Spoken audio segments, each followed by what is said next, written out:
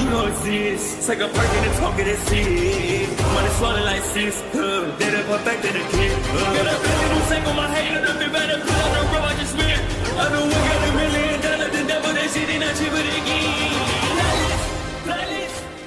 Hello and welcome back, fellow anime lovers, to Manga Muse. I am delighted to have you join us once again in the world of fanfiction and fantasy. This is the third part of What If Deku and Hero Academia joins One Punch Man. Special note, this fanfic is written in a masterpiece of Lumpe Spark 3 on fanfiction.net. Do check and support the author too. Now smash the like, share and subscribe button for more. Also press the bell icon so that you never miss such great parts. Thanks for the introduction. Now let's dive into the world. So have you all made a decision? The boy with the green hair stood up and said yes. Great. The Hero Association thanks you all for your kind service. Before we go any further, however, I would like you all to follow me to the gymnasium. Before you all can become heroes, we need to analyze all of your capabilities so that we can accurately assign you to a hero class. The class moved and got up excitedly as they followed the agents to the gym. Staying slightly behind, Sitch spoke into his radio and asked for there to be an S-class summoned later in the evening. Smirking to himself as he followed behind the teens, the first part of the plan went smoothly. However, convincing the S-class to take these kids on as essentially apprentices would prove difficult given their lone wolf nature even with his planning and spying on them. There was no guarantees they would still take the bait, and even if they do, would they really watch them or just sit them in some random corner somewhere? He sighed problems for a different time he guessed. He too was curious about just how capable these students and their quirks were. First, however, was the written test. This section held a lot more weight than people realized. He remarked that someone had broken every single fitness test record in the association's history, but completely flunked out on the written portion which probably relegated him to C-class if he had to guess. He made a note to send word down to the rankings team that in this case the written portion should only be weighted a quarter of how much it originally weighed. During recent times it seems now more than ever the association needed more heroes to counter monsters' rising appearances. So maybe loosening the weight entirely may be the best choice of action. What's a few stray heroes if they can get the job done maybe they wouldn't need to be heroes at all. There are a lot of strong individuals in all walks of life after all. By the time the written portion had concluded, Sitch had given the teens back their hero costumes from before, all of them cleaned and stitched back together to look brand new.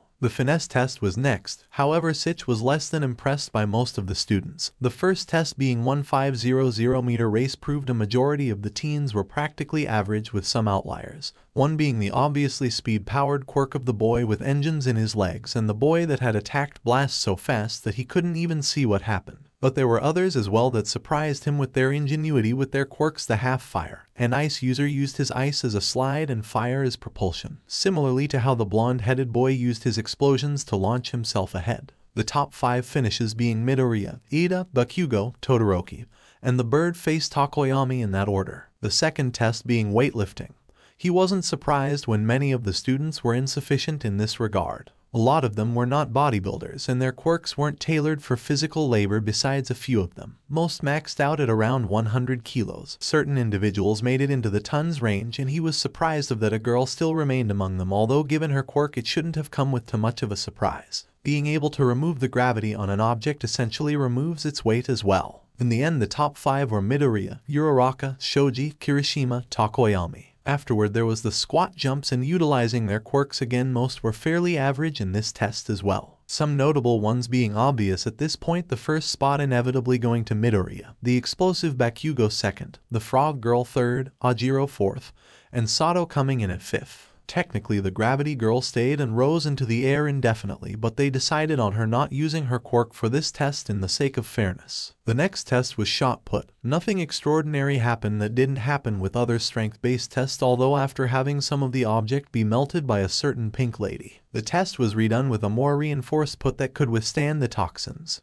flames, and explosions the more unique students used to launch the put. The first one was inevitably Midoriya, followed closely by Bakugo, then Ida using his legs to launch the put in a spectacular display, followed by Asui, and fifth being Sero. The next challenge was an unconventional one. It was a whack-a-mole machine. The purpose of this test was to test hand-eye coordination and combat speed of an individual. The results were no surprise to him either. Midoriya as always came in first, followed by Shoji, Bakugo, Todoroki, and Ida. The last test he was unable to attend due to being notified of the S-class showing up for the meeting. The punching bag test results were as he expected from the students those who did not have physical enhancements with their quirks were fling on the average level with their punches, stronger than he expected of the average teen but still average overall for a hero. The teens that came out on top in this event was Midoriya, Ida although it was a kick not a punch, Kirishima, Tokoyami, and fifth being Ajiro using his tail. He left the teens for the other tests and walked towards the S-class meeting. He hoped everything would go well here as well. As he entered the room, he immediately saw the occupants were all familiar to the last time barring Puri Puri prisoner which was already the sign of a blessing as that would save him the time of explaining why he was excluded from the conversation. He greeted the S-class and the single B-class that joined the meeting and began before anyone got antsy about why they were summoned on such short notice. The reason I've gathered you all today was not some impending doom that would doom the world like before. So you're just wasting our time then. Tatsumaki exclaimed. Well, no something else has come up. Some teens have appeared recently that have manifested some supernatural abilities. We have collected these teens to train them in how to use their powers and to become heroes but they lack experience so we were hoping that you all would take them under your wing and supervise them. As he said this the table they all sat around began to light up, each showcasing the teens in question and brief descriptions of their powers and abilities. What? You think I'm going to watch over some stupid weak kid? Just because they have some fancy powers, Tatsumaki exclaimed once more. I'm with the little lady on this one. I don't have time to watch over weaklings. Atomic Samurai said. Bang flashed a big smile and said I would gladly take them all under my wing. It would be my pleasure to take on the burden so my fellow S-class can roam around free. Sitch waved a hand as he denied Bang's offer no. No, Bang we couldn't ask that of you besides. Of the unique powers they were given only a very few of them actually have any physical hand-to-hand -hand ability it would be better to have them under a hero that can fully maximize their potential. On the table we have divided the teens into heroes who we would like them to work under. Have no fear of undertaking such a task we will offer you all bonuses that you can't refuse. Bang's smile fell and he along with the rest of the heroes turned to look at the screen below them. Tatsumaki had an extra note on her screen from Blast. It was a picture of him with his thumbs up and a smile on his face. She remembered meeting him the other day and him telling her that something like this would happen and he wanted her to go along with it. She breathed a deep sigh before resigning herself to actually looking over teens in question immediately closing windows that had the gender as male. She was left with five choices left each of them with a rather uninteresting power. The one that was highlighted for her was a brown-haired girl that had the ability to float objects. Assuming she was another Esper user she agreed to take her on just for Blast's sake, but after this he would owe her now. Fine, I'll accept her. But don't come crying to me if she doesn't want to be a hero to be a hero anymore or she ends up kicking the bucket. Tatsumaki said, hearing her of all people say that shocked the rest of the S-class. They thought she would be the last one to agree with the situation. But their shock continued further when the Drive Knight also voiced his approval of the deal. I too can agree to such terms. However, given the heroes in the room and the number of teens presented I assume you expect some of us to take more than one of them. In that case I would like to take the electric user along with the creation girl. In doing so are you giving me free will over them and their bodies? The way the knight phrased that question made Sitch uncomfortable, and responded as long as they consent to whatever you plan for them then yes. What do you plan to do with them? I only plan to study them. You said these powers manifested in them and given that you didn't name a reason, I would like to find out for myself and if these powers could be replicated in others as well. The Drive Knight said flatly in reply. The mood suddenly lifted again as the other heroes sat and studied the screens in front of them. Bang rose his head immediately after trying to take the initiative that Drive the Knight left. Well, if we can take two of them, I would also like to express that chance. The young boy that you marked for me named Ajiro. I would gladly take him on along with the boy named Midoriya as well. Sitch nodded and accepted Bang's deal. Pig God was the next in line to speak up. I would like this one Ugsato I would also like more sweets to be brought to my room for the next few days free of charge. He said pointing to a picture of a big-lipped guy with brown hair at first Sitch racked his brain with intrigue on why he chose that particular student but realized that on the document it said that he liked to bake dessert, and his quirk revolved around sugar meaning Pig God could comfortably request sweets all for the sake of helping his student in his training. Shaking his head Sitch reluctantly agreed to the pig god's deal, as long as it's one less kid off the table. Just try not to go overboard. Sitch calmly says. Super Alloy Darkshine looked over the remaining teams and was interested in the one highlighted for him. He had red hair and his hardening ability. Curious to see just how durable that made him and he would be glad to instruct someone so young in building muscle to support such an ability. I'll accept the Kirishima boy. Sitch agreed and looked to the rest of the S-class heroes looking over first to the demon cyborg he asked for his thoughts. No, me and my master don't need any more mouths to feed, and I have no interest in taking care of children. He said finally. Sitch internally sighed to himself but this was expected as was his master's appearance in this room which was a blessing. Hopefully what he was about to say will not escalate things too much. You won't have to feed them and I am not asking them to stay with you. They will still be housed here and be sent out to you or a designation of your choosing. I still refuse, Genos said in reply. Even if I offer you and your master a money bonus of 2 million yen. Genos was about to again but his master immediately stopped him after some large amount of murmuring. Genos turned back and said fine, I'll accept this one he said pointing to a blonde-headed teen with explosive hair. Sitch continued however, you know, your master shares a shocking resemblance to a hero who we received constant complaints from civilians for the incident with a demon-level threat not too long ago. A number of them wanted this hero expelled from our rankings and some were major influencers of ours as well. Genos squinted his eyes are you making a threat? No, but I can inform the public that the problem individual has been reprimanded and wipe away the complaints he receive. Even promote him to be class rank 33 if you are inclined to take another teen under your wing, with future positions possible. After more murmurs from the duo, Genos turned and accepted the offer Sitch gave him. He looked down and looked over the remaining teens and chose the teen with the red and white hair. You're sure going all out with trying to get us to watch these kids. Is there something we should know? Child Emperor asked. Sitch waved his hands nothing's it just that we hope to cultivate these heroes and fine-tune them into something better. Sitch looked over to the king. I hope you can see the use of raising the next generation king, and would agree to do this for the association. The king simply nodded his head as his mind was filled over with thoughts on what he should do. He didn't know if he should pick someone that is strong or someone weak. If he chose someone strong then they could fight battles in his place and pass off his passiveness as tough training but if they fail he wouldn't be able to save them and he would be revealed as a weakling and a coward on the other hand. If he chose a weak student then he could run away from the danger and excuse it as getting them out of a bad situation, but then if they were cornered and forced to fight the student wouldn't be much use in a fight. Hum he racked his brain and simply went with his gut and pressed his hands on the table in front of him without looking. I choose this one, he said finally. Sitch was partially surprised on who King had chosen but hearing the faint roar of the King's engine he decided not to press him on the subject and simply agreed to his choice figuring he may have seen something in the purple-haired kid that he did not. He turned his head towards Metal Bat who looked incredibly uninterested in any of the conversations going on being on his phone even looking at something he couldn't see. Metal Bat, given your handful of next jobs for the association, I'll assign you this student to make them easier.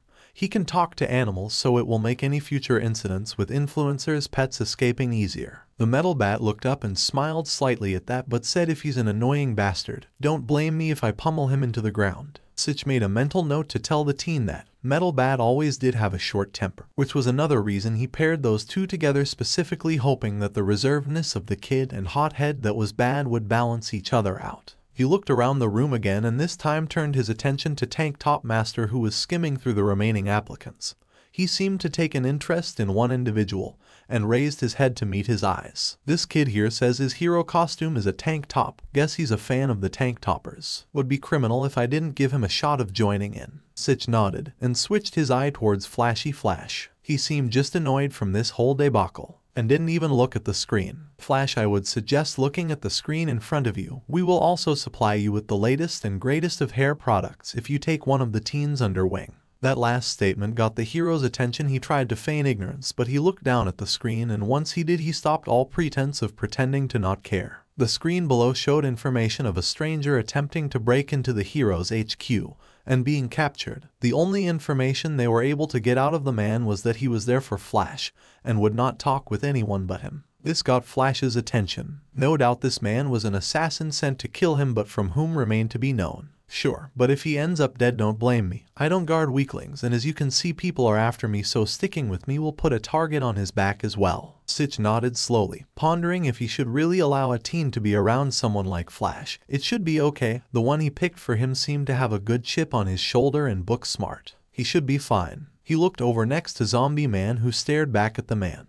I'm curious, what are you going to offer me? I don't practically need anything important. Well, true, but we believe we have a tip for you if you comply, about a specific doctor that you may be interested in. And the teens we have in mind would greatly aid you in your search and expertise. We know you specialize in espionage, spy operations, and reconnaissance, so we assign two of the teens that would best accommodate that. Sitch replied. Zombie was somewhat surprised at the hint of the doctor they were referring to, easily blocking out all of the rest of Sitch's speech regardless. He looked down at the screen and saw that one teen had a form of invisibility, and the other grew stronger in a darker environment.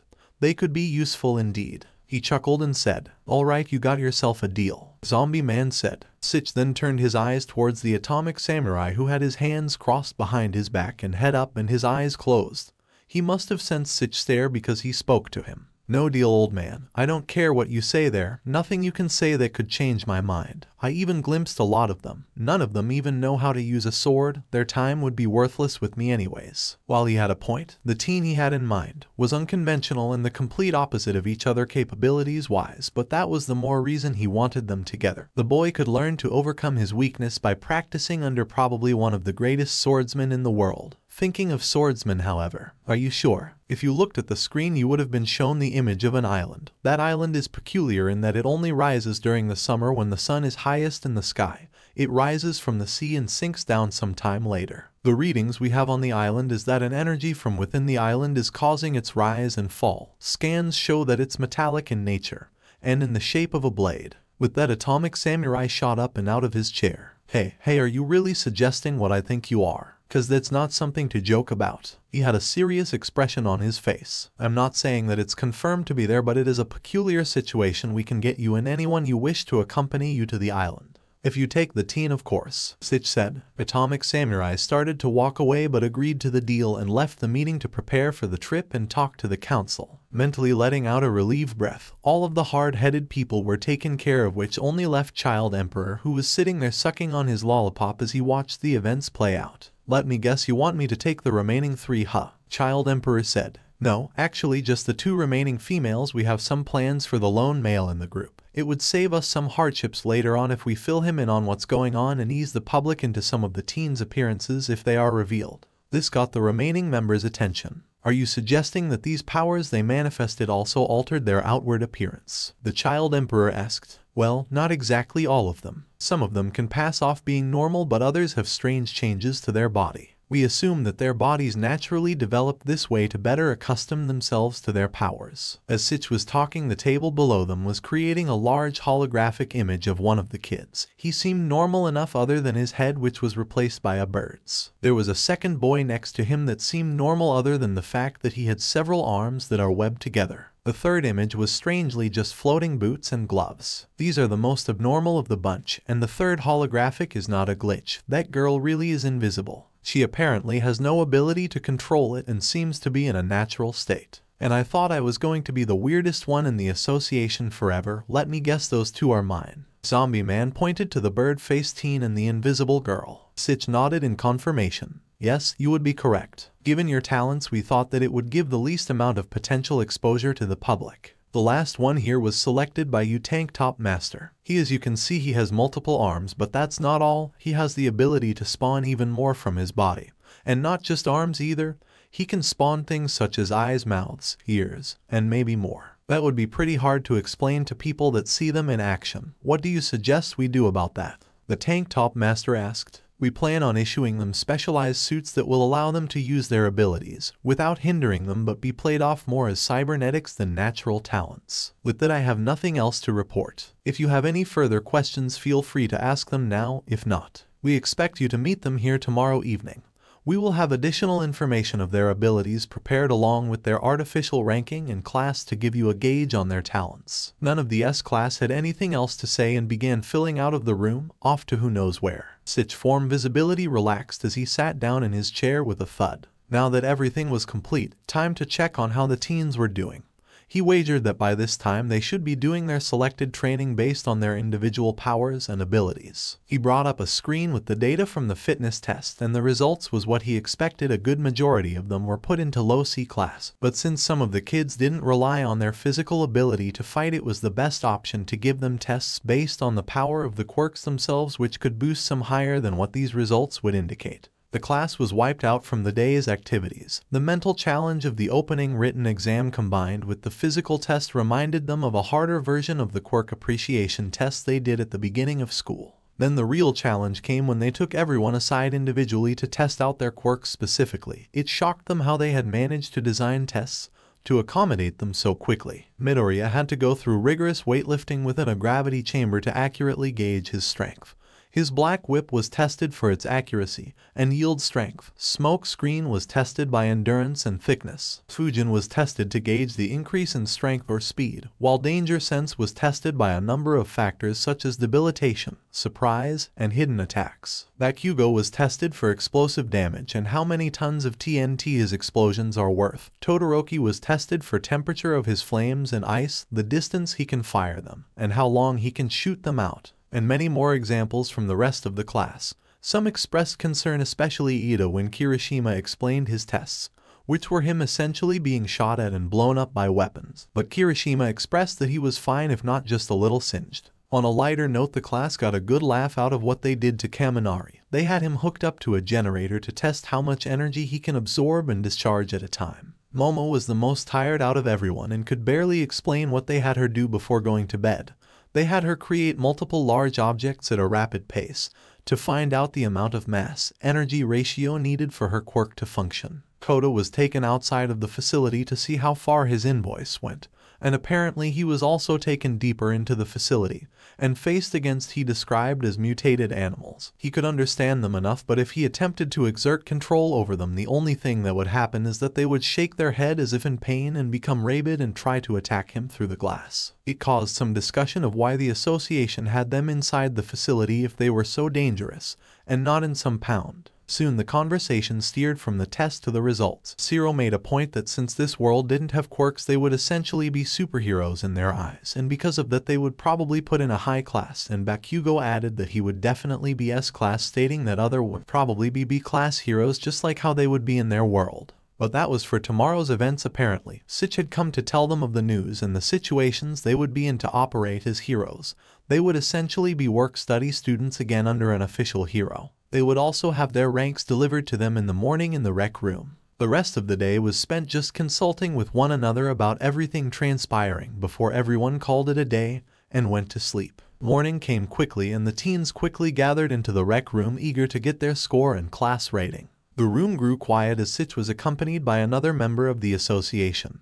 This one had wore a similar attire to Sitch, but he had a more angular face with a stubble beard. They approached the forward center of the room and the worker started speaking. First and foremost, I would like to thank you all for agreeing to join the Hero Association. Given Yul's unique situations, we have made customary accounts for all of you and have deposited an initial sum of money that should help you all buy some clothes of your own and any other materials that you desire. He braked in his speech as the students whooped and cheered, especially the one in pink. Any hero duties you accomplish will be rewarded monetarily and deposited into these accounts, and these will be the cards you can use to access that money at any given time if the store has the capability. They each have your name on them and will be passed out along with your new hero card that displays your hero class and rank within that class. We are also going to hand out the data plan for your cellular devices. The money will be coming from the associations as you work as a hero. The beard worker stepped back and Sitch took his place holding an envelope in his hands. Aoyama, C-Class rank 120, Ashido, C-Class rank 105, Asui, C-Class rank 92, Bakugo, a class rank 20, Hagakure, C-Class rank 380, Ida, B-Class rank 72, Jiro, C-Class rank 100, Kaminari, C-Class rank 124, Kirishima, B-Class rank 70, Koda, C-Class rank 200, Midoriya, S-Class rank 14, Mineta, C-Class rank 250, Ajiro C-Class rank 90, Sato, C-Class rank 110, Shoji, C-Class rank 91, Todoroki, S-Class rank 17, Sero. C-Class rank 125, Tokoyami, a class rank 31, Uraraka, C-Class rank 130, Yaoyorozu, C-Class rank 114. As Momo took the cards, Sitch began to speak again. For some of you may have noticed that your hero names have been changed. We have brought them more in line with our standards and regulations. We also would like to ask those with excessive mutant traits to stay seated while the others report to the gym to be picked up by your professional hero for the day. As the students filed out of the rec room towards the gym, more agents began to come into the rec room with the mutant teens, taking measurements and asking probing questions about their extra body parts and how fabric reacts to it and how much can be covered up before losing functionality. After around 10 minutes the questions and measurements were done and they went along to join their friends in waiting for the heroes in the gymnasium. The class was in the midst of constant discussion about everything that had just transpired their class, ranks, and some of their new hero names. What happened Bakugo? I thought you were going to be in Class S. Sero said teasingly. Yeah, yeah, guess you aren't as strong as you think you are. Kaminari piled on. You should have heard him when they said Midoriya and Todoroki were announced. I swear the fact that he didn't burst out there was nothing short of a miracle. He's really come a long way. Kirishima mentioned. Shut up, you idiots. Aren't you guys mostly C-class anyways? Pathetic. For me since my ranking isn't S that just means they're just as incompetent as the rest of you. They can shove this rank up their ass because that's where it's best. Bakugo lashed out as he looked back towards his card. The group was momentarily drawn to silence thinking that did Bakugo just rhyme on purpose. Well he hasn't improved that much apparently, Ashido said. Shut your mouth Pinky you're C-class like the rest of them too. Bakugo replied. Ah, ah, ah, that's not my hero name anymore, now it's Acidic Cherry. Not the most tasteful name but it's okay, for the most part, she said with a smile. Another group of students were talking as well. What? My new hero name is Green Menace. That makes me sound more like a villain than a hero. Midoriya pointed out to his group. Ida nodded his head in understanding yes it seems this hero association has no comms with putting more intimidating words in their heroes' names to perhaps put fear into the people that may cause trouble.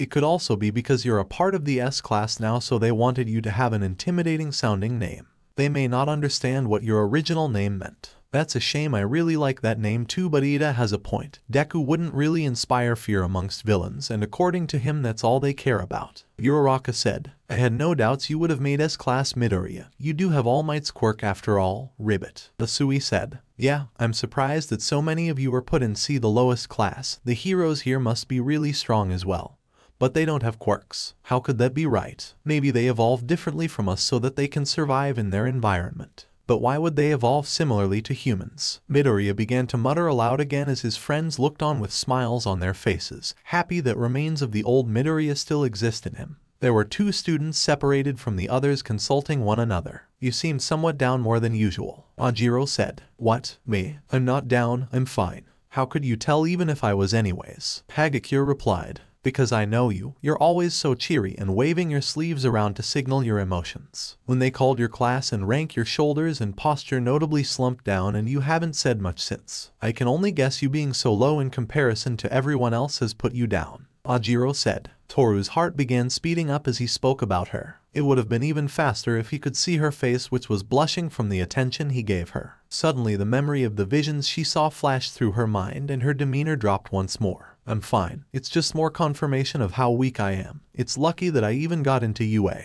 Ajiro put a hand on her shoulder and said, You're not weak, you're just unique. I thought I was weak as well compared to everyone else so to prove them and myself wrong. I trained hard to surpass their expectations. You got into UA with your own merit and you can always keep progressing. She smiled at the boy for his kind words and replied I guess you're right. Maybe I could catch up to you one day.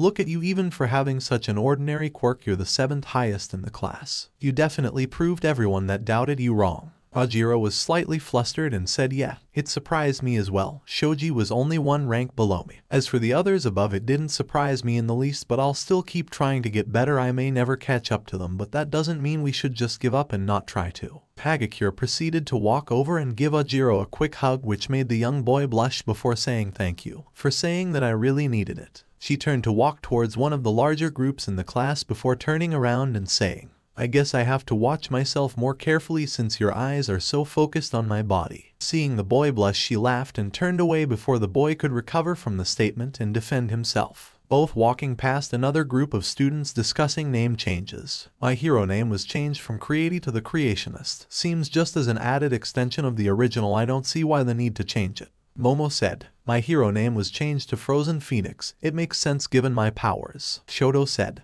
they thankfully decided to keep my name Earphone Jack, given my power as well. What about you? Jiro said. Surprised by her pointing to him, Koda quietly replied. They, they decided to change my hero name as well. It's now Forest King. Come, that seems like a cool name actually, Shoji said behind them. I agree it suits you and your powers well, Tokoyami said. Koda just nodded while shying away from the conversation, not used to having all attention being on him, while the group continued to speak. Just what I expect from you Todoroki you were placed in S-class. I'm surprised that a lot of us were put into the C-class. Are the heroes just that strong here? Given the test we did I'm sure I would have done better than most. Momo said, it's likely that this association thinks highly of physical ability, and those with more range capabilities were penalized from their physical performance. Todoroki explained, I agree with Todoroki. If I hadn't developed Dark Shadow's Dark Abyss to cloud my body, it's unlikely that I would have been in the A class. Tokoyami added, What does the classes mean anyways? Why are they so important? Shoji asked. They created a class system to better deploy heroes to certain threats. C-class heroes are to handle threats of wolf and below, B-class are for tiger threats, A class for tiger threats, and S-class for demon and dragon threats. This means that it is unlikely for us to be sent out against horribly dangerous opponents. Momo explained.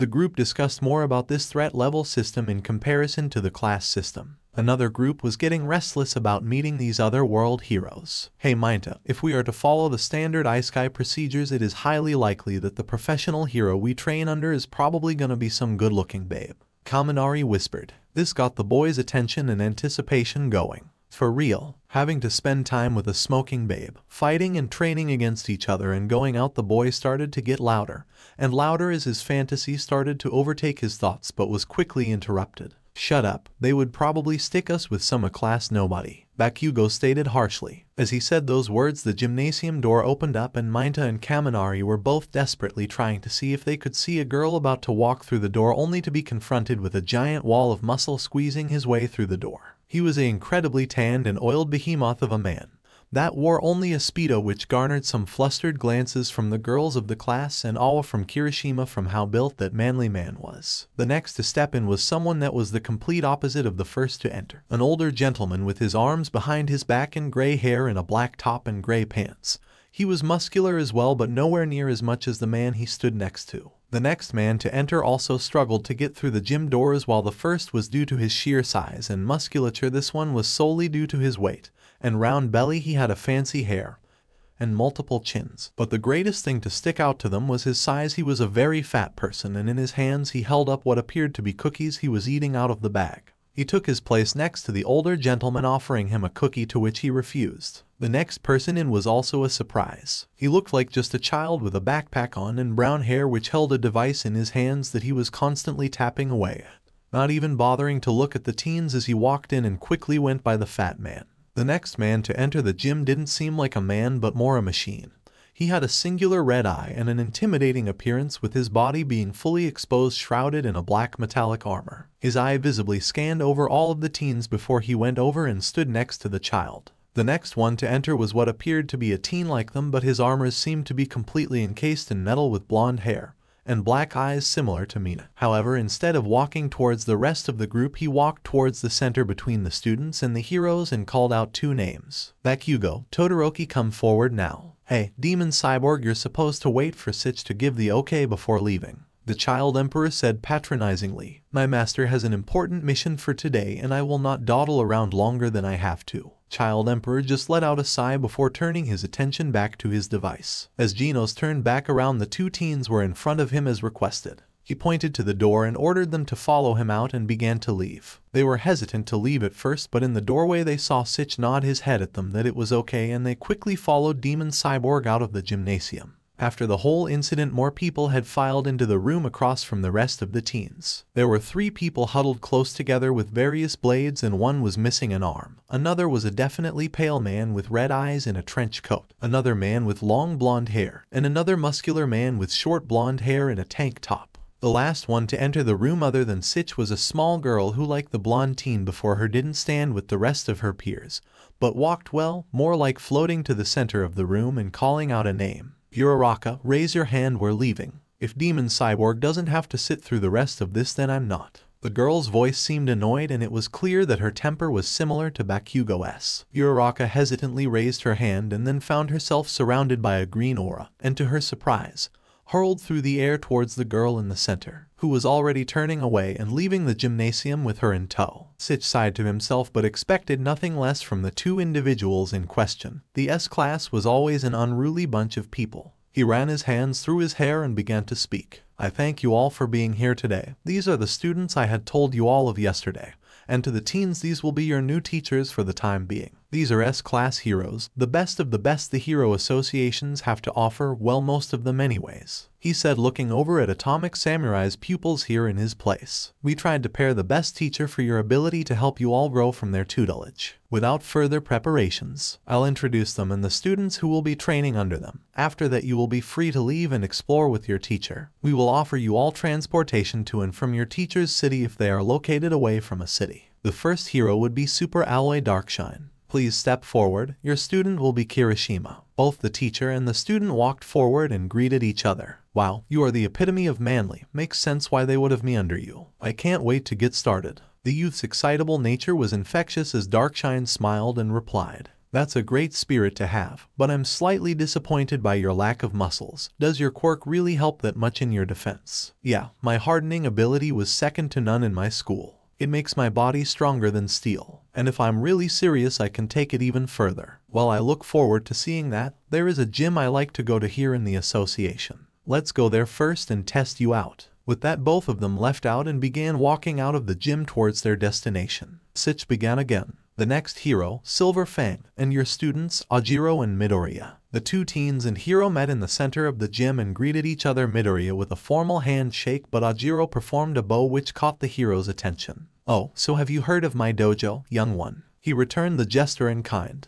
No, but I can tell by the way you dress that you are at least somewhat familiar with martial arts, which would explain why they chose you to teach me. Oh wow cool, what style are you a practitioner of? Midoriya asked with his growing curiosity. I am the creator of the water stream rock smashing fist. The old man said happily. The name didn't ring any bells in his head so Midoriya looked to Ojiro for any insight on the fighting style, but he shook his head as well. The look of confusion on the boy's face was a somewhat grim reminder of how his dojo lost its blister in the present day but he smiled nonetheless. What fighting style do you two practice? Given your gi I assume you have been formally trained in some arts. The boy with the tail nodded. Yes, I trained to be a black belt in karate, taekwondo, and judo, with some knowledge in tai ching. The boy with the tail said, Hum, interesting. I have never heard of those arts before. I would be glad for us to share points and forms in the coming days. And you young boy, he said, turning his head to Midoriya. Oh, um, me well, I just punch and kick things. I usually mimic others I have seen as reference mostly. He said, rubbing the back of his head bashfully. I see, well that will make you an excellent student then. I shall show you to my dojo. I assume there is transport waiting outside. Bang asked looking at Sitch. Sitch nodded his head and radioed ahead that Bang was coming towards them with that Midoriya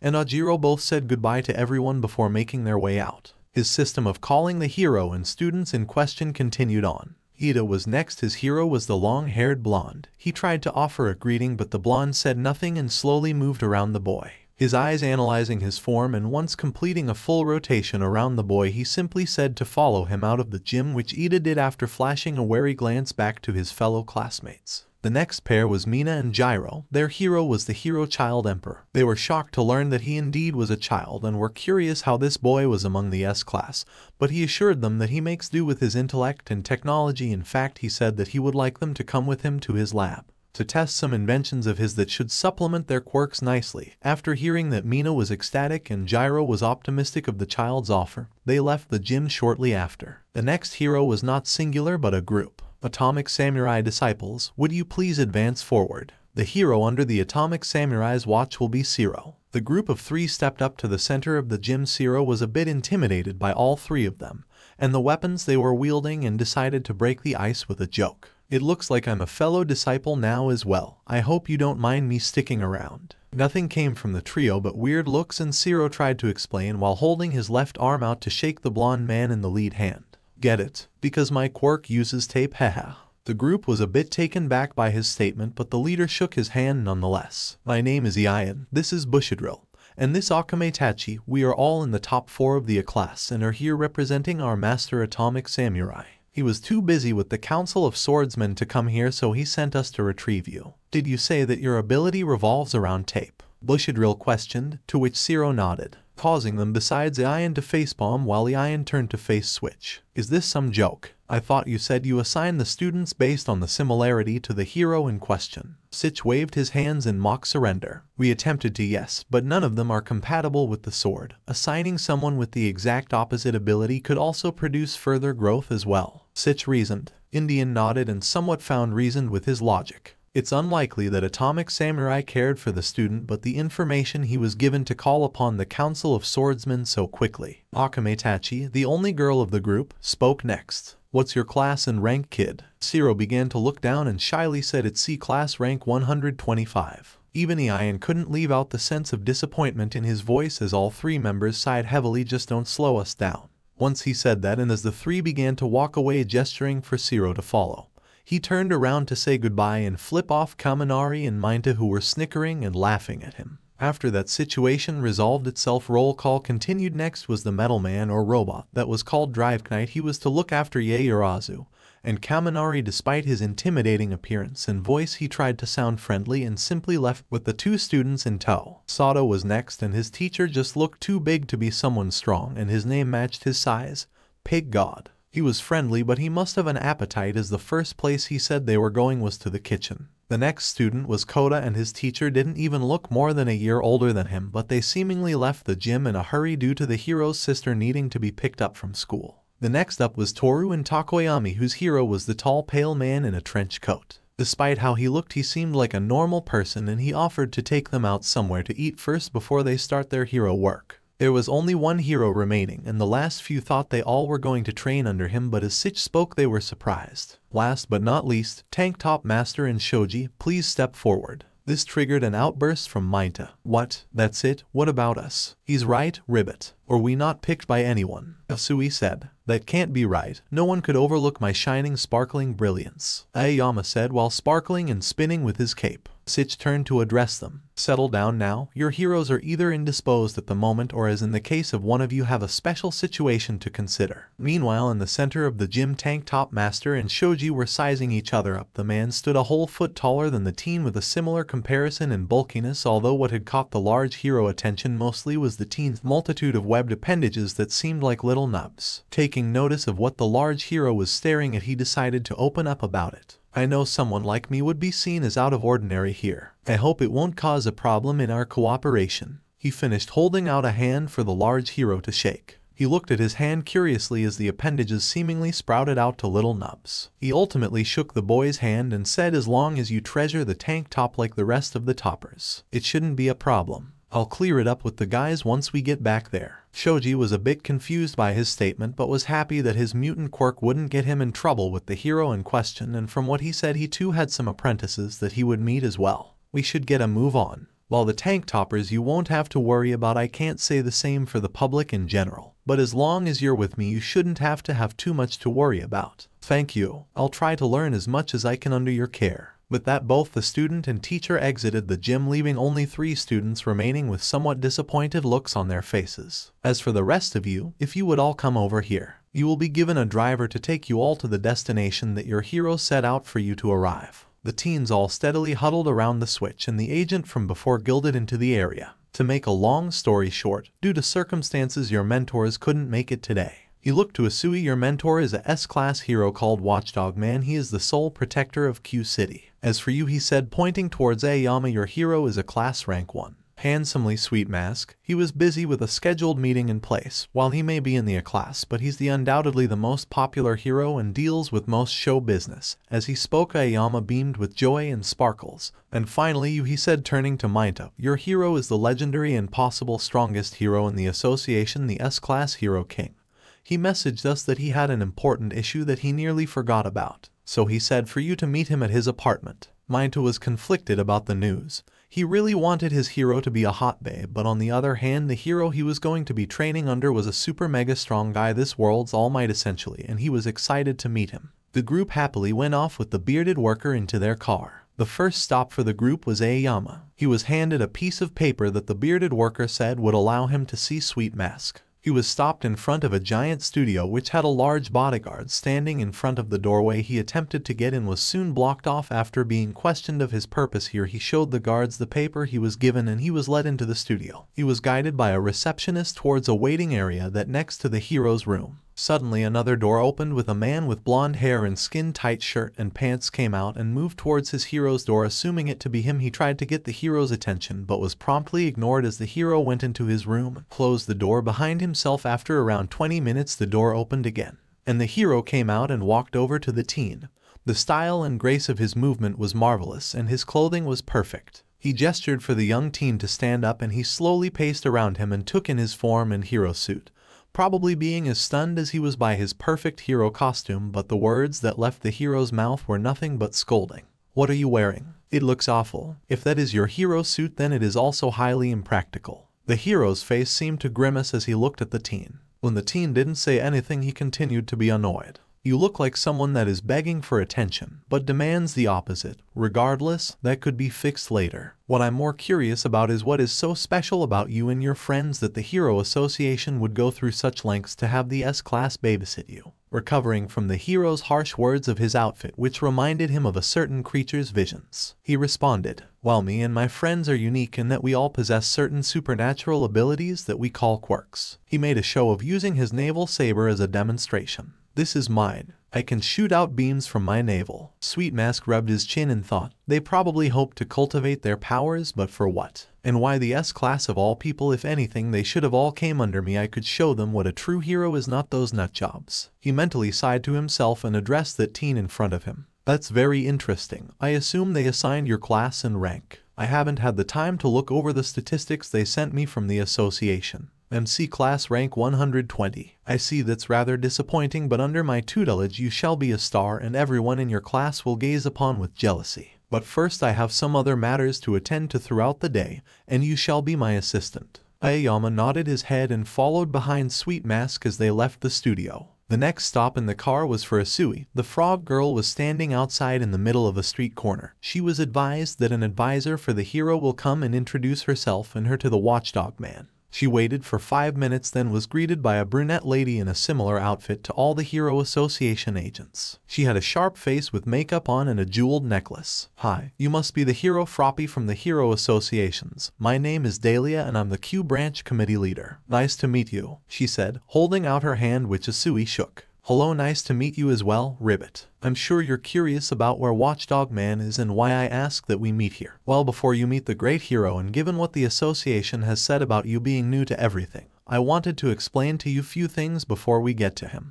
The two began walking as she continued. As you may know now this is Q City, one of if not the safest place in the whole world, and that is all because of him. The great watchdog man is the sole hero and has taken care of all monsters who have sprouted up rather swiftly and mercilessly. Her attitude and tone of voice as she spoke reminded Froppy of a tour guide. However, he is a man of few words and also is usually as still as a statue, unless there is danger present. This caught Froppy attention. Wait, you're saying that he doesn't move unless a monster appears. Ribbit. Well, not quite he does move around occasionally for his walks. That's part of the reason we couldn't come to the association to meet you there. We already used up the number of walks he takes during a day. There were some people that really wanted him there for a party, and the association insisted on his attendance. While we don't know why he does things this way, we assume that it's because of his love and care for Q-City.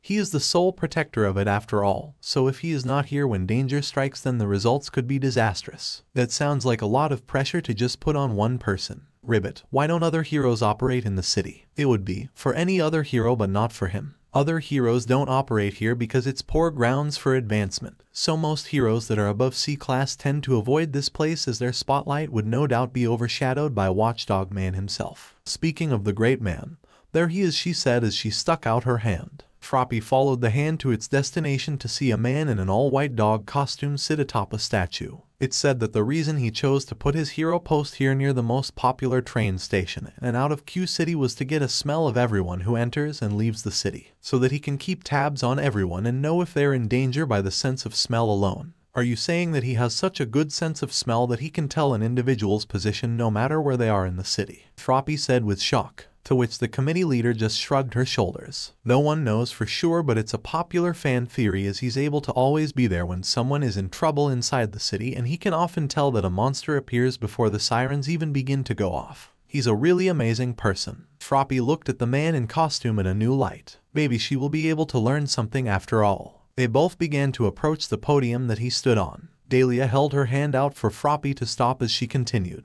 Hey, hey, watchdog man. I brought you the playdate that the association assigned to you. A sudden breeze swept the area, and Froppy could have swore she heard some sniffs coming from behind her, but when she turned around nothing was there, and as she turned back around to face Watchdog Man again, she was a bit surprised when the hero was no longer on the podium, but in front of her face sitting down like a dog with his hands in front of him on the ground. Hi, my name is Asui, but you can call me Tsu. She held out her hand, but the hero did nothing but stare at it and sniffed it. Dahlia came up behind her whispering in her ear before she spoke again and said, Shake, to which Watchdog Man instantly responded putting his paw suit in her hand and said hello. With a very low monotone voice. After shaking her hand, he immediately went back to his post up on the podium as still as a statue. Dahlia tapped her on the shoulder and explained, as the name implies, Watchdog Man acts like a vigilant guard dog and his mannerism on duty reflects as such. So when speaking to him it would be wise to speak as if you were talking to an actual dog. He is not always guaranteed to reply but he is more open to that sort of language. Well, how am I supposed to train under him if he doesn't talk? For that I have no idea. But you should watch him carefully if you can and see if you can't learn a few things. She was about to ask what she meant by if she could when suddenly a large gust of wind blew by and nearly knocked her off her feet. It was the same from the direction of Watchdog Man and she turned to see that he wasn't there anymore. There he goes again off to the rescue. This yellow dot represents us and this red dot represents Watchdog Man. Froppy was stunned the red dot was 30 kilometers away. She signaled for her to brace herself as the red dot came back nearly instantly, and there he was back on the podium again. Good boy, watchdog man, here have a treat. He's more responsive to treats and people who pass by also offer him food as a sign of thanks or to just clean off the podium from monster blood. And that should be everything you need to know. Any questions? Sui mentally sighed to herself why she had to get the weird one. But there was something cute about this hero's weirdness. The last stop was for Mineta. He was surprised to find that King stayed at a regular old apartment and it wasn't even a fancy one at that. While it did have at least a view of the bustling city below, that was all it had. He was given a document to give to the receptionist for his authority to be there and enter apartment, and was shocked to find that there wasn't even security at the front gate either. The guy made this king sound like All Might the strongest man in the world. He expected more like a mansion or an estate with guards and more importantly hot babes in a line stretching forever long or at least to be welcomed by maids in cute outfits. But nothing just a regular apartment complex. Maybe this hero association didn't pay well enough for that. He probably should ask when he gets back. Mineta approached the desk and said he was there to see King. After some initial reluctance to believe the teen he handed her the paper he received. Her tune instantly changed and even gave him a spare key to his room and where it was. Mineta was about to proceed upstairs towards the designated room but he thought better of it. Even if he's technically allowed and expected to be there, someone's room is still their personal privacy, and he wouldn't want to violate that by entering by himself so he decided to just wait outside in the lounging area. It held many images and self-promotion by the king apparently, which makes sense given that he's such a strong hero but thanks to this he could at least match a name to a face. The man he was looking for had blonde hair with a three-scratch mark down his left eye. The man didn't look especially powerful from how he looked. If anything he looked pretty scrawny, but maybe he had a similar ability like All Might where he has a muscle form or perhaps he would have a ranged ability. His pondering lead his curiosity in picking up a pamphlet called King's Greatest Defeats. He opened up the pamphlet and the first page showed a menacing villain who was all purple with two antennae on the most stunning detail on the page was the giant text that read threat level dragon. The creature could shoot energy beams from his eyes and balls of energy from his hands but King defeated him without a scratch. The next page was a giant humanoid feature with a white skull face its details read dragon level threat. 270 meters tall giant killed by King without a scratch. Flipping the page again was a group effort it was said that King and the S-Class destroyed the alien invaders that destroyed a city. The print read that while the details about the event are scarce it is heavily suggested by the association that King and Tatsumaki are the leading figures of the climactic battle that lead to the hero's victory where mostly all of the S-class heroes were unscathed by the assault. Mind to flip the page again and this time the image was of King himself and the text read beware the King's engine for it is the sign of imminent death to the sounds of a human heartbeat. Monsters below that of demons are left stricken in fear by the mere sound of it alone.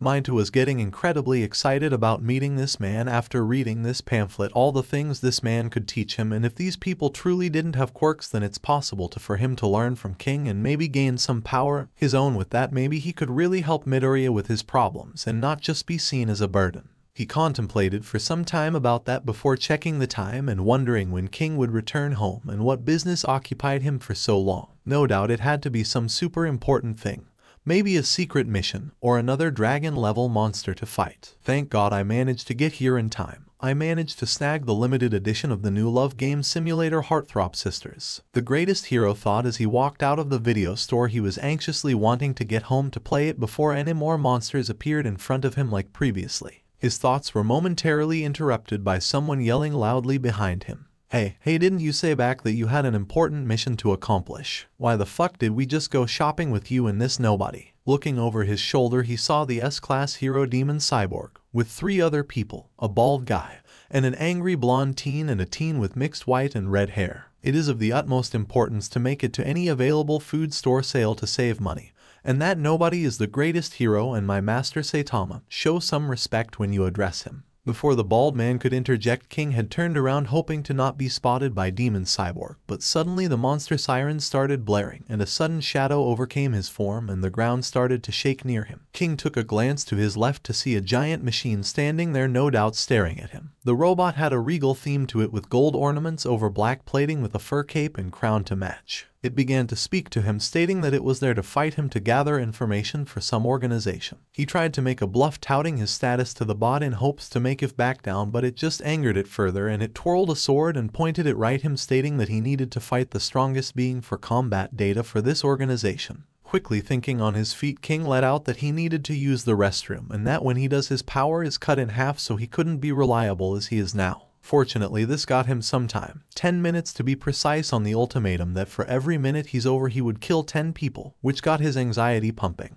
The group of heroes watched as the strongest hero walked off towards the bathroom and saw as the machine waited. Do you really think it is okay if we just sit here and wait for this guy? Todoroki questioned. No, this is the perfect opportunity to see the king's abilities firsthand. Genos said, I'm kinda interested myself, that monster looks tough. Saitama added, What? You two can't be serious, if that's a monster, it's our job to destroy that scrap heap. If you chumps aren't going to do anything then I will, just let a real hero take care of this. Bakugo began to walk towards the machine when his hand was grabbed by Gino's. I detect a powerful energy from it. It's definitely a machine and its performance may even be greater than mine and I estimate its threat level to be demon.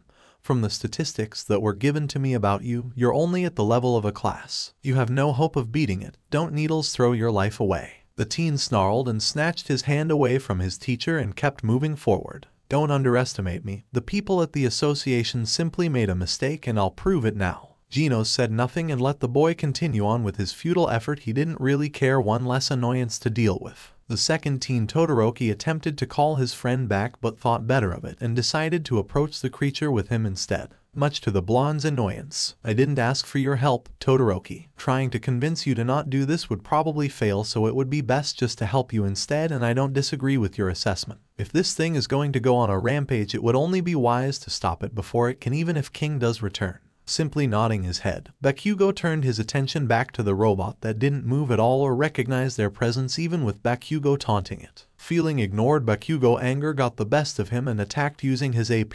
Shot autocannon the round simply dissipated on the machine's chassis not even leaving a scratch. The machine still remained motionless almost inactive taking this as an insult Bakugo attacked again with an even stronger shot which still didn't harm the machine and still it didn't move from its spot. Bakugo charged forth as Todoroki used his ice powers to freeze the machine's legs and joints. Bakugo hit the machine with a fully charged blast creating a smoke cloud only to reveal the machine looking directly at him. Eleven minutes has passed and King has not returned. You shall be the first of ten to die. Bakugo began to worry but the machine was then completely frozen in ice. Todoroki yelled at his friend to retreat from the machine but to his surprise the machine had already broken out of his ice with its sword. It began to chase Bakugo gaining ground on him as he flew away. He yelled at his friend to instead to fly upwards fast as he prepared a large fire wave with his left side. The flames engulfed the robot and the street behind it but the robot remained standing only the foot of his cape caught fire which it put out with one swipe of its hand. The machine activated its back boosters and launched itself at Shoto, ignoring the peppering fire raining down from above from Bakugo. Todoroki created an ice wall to separate himself from the charging behemoth, but it was immediately cut down with one stroke of its sword. It raised its sword ready to cut down but in a surprising event activated its booster to fly upwards hoping to skewer Bakugo in a surprise attack. Bakugo had a quicker reaction time than the robot thought as it nearly missed the teen and only scored a cut on his cheek as the teen redirected his body out of the way of the massive sword shooting off another explosion point blank. Unfazed the machine hit Bakugo with, with the flat of its sword sending him screaming down towards the ground. Bakugo attempted to recover in time but he couldn't and braced for a hard impact that never came. He was caught by Demon Cyborg's master. He quickly struggled out of his grip and wanted to tell him off but he struggled to recover from that attack just now. Alarms started blaring all around them as someone over a speaker reported in. Emergency evacuation A machine weapon is rampaging near Central Park in M City. From witness reports cross-referenced by the association and a class hero has engaged. Its estimated threat level Tiger possible escalation to Demon. All residents within the area should proceed to the designated safety area the robot pointing its sword downward towards Todoroki again and charged double-handed at the young hero. Gathering up his ice in one hand, he charged a heaven-piercing ice wall to encase the machine, but as the ice connected, he felt it charge through almost unimpeded. He took a step back to gain more distance, but by that time it seemed too late the machine burst through the ice preparing to gore him on its sword but it was held in place by a metallic hand both combatants seemingly in shock turned to see none other than Demon Cyborg. He quickly disarmed his opponent by using the elbow of his other arm to completely shatter the sword that he held in his hands. This astonished not only the teen next to him but the robot as well taking a step back to marvel at the sight of his broken sword. Taking the initiative Demon Cyborg began to charge his next attack tucking in his right hand and charging energy into it. He told the teen next to him to fall back as he launched a punch that soared through the air and connected with the machine sending him careening back. As Todoroki got back as instructed, he checked to see if Bakugo was okay while the cyborg's master said what was on both teens' minds. Was that a rocket punch? Genos didn't have any time to respond as the robot immediately righted itself with its back thrusters and came in to slam its massive foot on top of the S-Class hero. He caught the robot's foot and struggled not to succumb to the pressure against him, his face showing visible cracks as the stress built up. Genos, do you need some help? His master said idly, to the utter bewilderment of the teen standing next to the man. What are you talking about of course he knew. No Todoroki was cut off by Genos. You challenged me to get to the top 10 of the S-class, and this is the perfect opportunity. I must defeat this on my own. That goes for you too as well, protect the civilians. I'll handle this. As he spoke he blasted a hole straight through the robot's foot causing it to release some of the pressure, and allowing him to escape from under it. He immediately dashed right back into the creature and began hammering away at it with a barrage of blows straight to its chest forcing it backwards. Saitama turned his attention away from the fight and saw a familiar hooded individual running away from the conflict, and decided to pursue him. He turned back to Genos and said, Oh, don't lose then, and began to walk away, but was halted by the flaming-headed boy. Where the hell do you think you're going? Isn't that your student? Don't you care about what's going to happen to him? He said that he could win so I believe him. I have to get these groceries home so they don't go bad in this heat. He continued to walk away, leaving the two teens stunned by this man's casualness of the situation. But before they could say more, thank you sensei, for your trust, Genos said over his battle with the vicious robot. The two teens turned back even more confused than before and watched as the two battled it out, cratering the surrounding area with numerous holes in the concrete. After some time an idea formed in Genos's head if the exterior was too hard to do sufficient damage then attacking the interior would be his greatest shot at beating this machine. He proceeded to dodge a punch from the machine that left it overextended allowing for Geno to jump on its back before placing his palms in the gaps of the creature's armor and using his incineration cannon. The blast had the ideal effect. Genos could see the lava pouring from the creature's body as it slumped to the ground. He jumped off and flipped over next to the teens and the civilians. He taunted the machine's shortcomings but was shocked when something else was revealed to be inside a smaller, more round and compact machine. It looked at him quizzically and got into a stance. Sensing an attack coming he told the civilians to get back and for Frozen Phoenix to create an ice wall and just in time as well the robot began to shoot laser from its head, arms, and legs completely bypassing through some of the ice wall that Todoroki had made but redirecting it away from the civilian who started to flee again.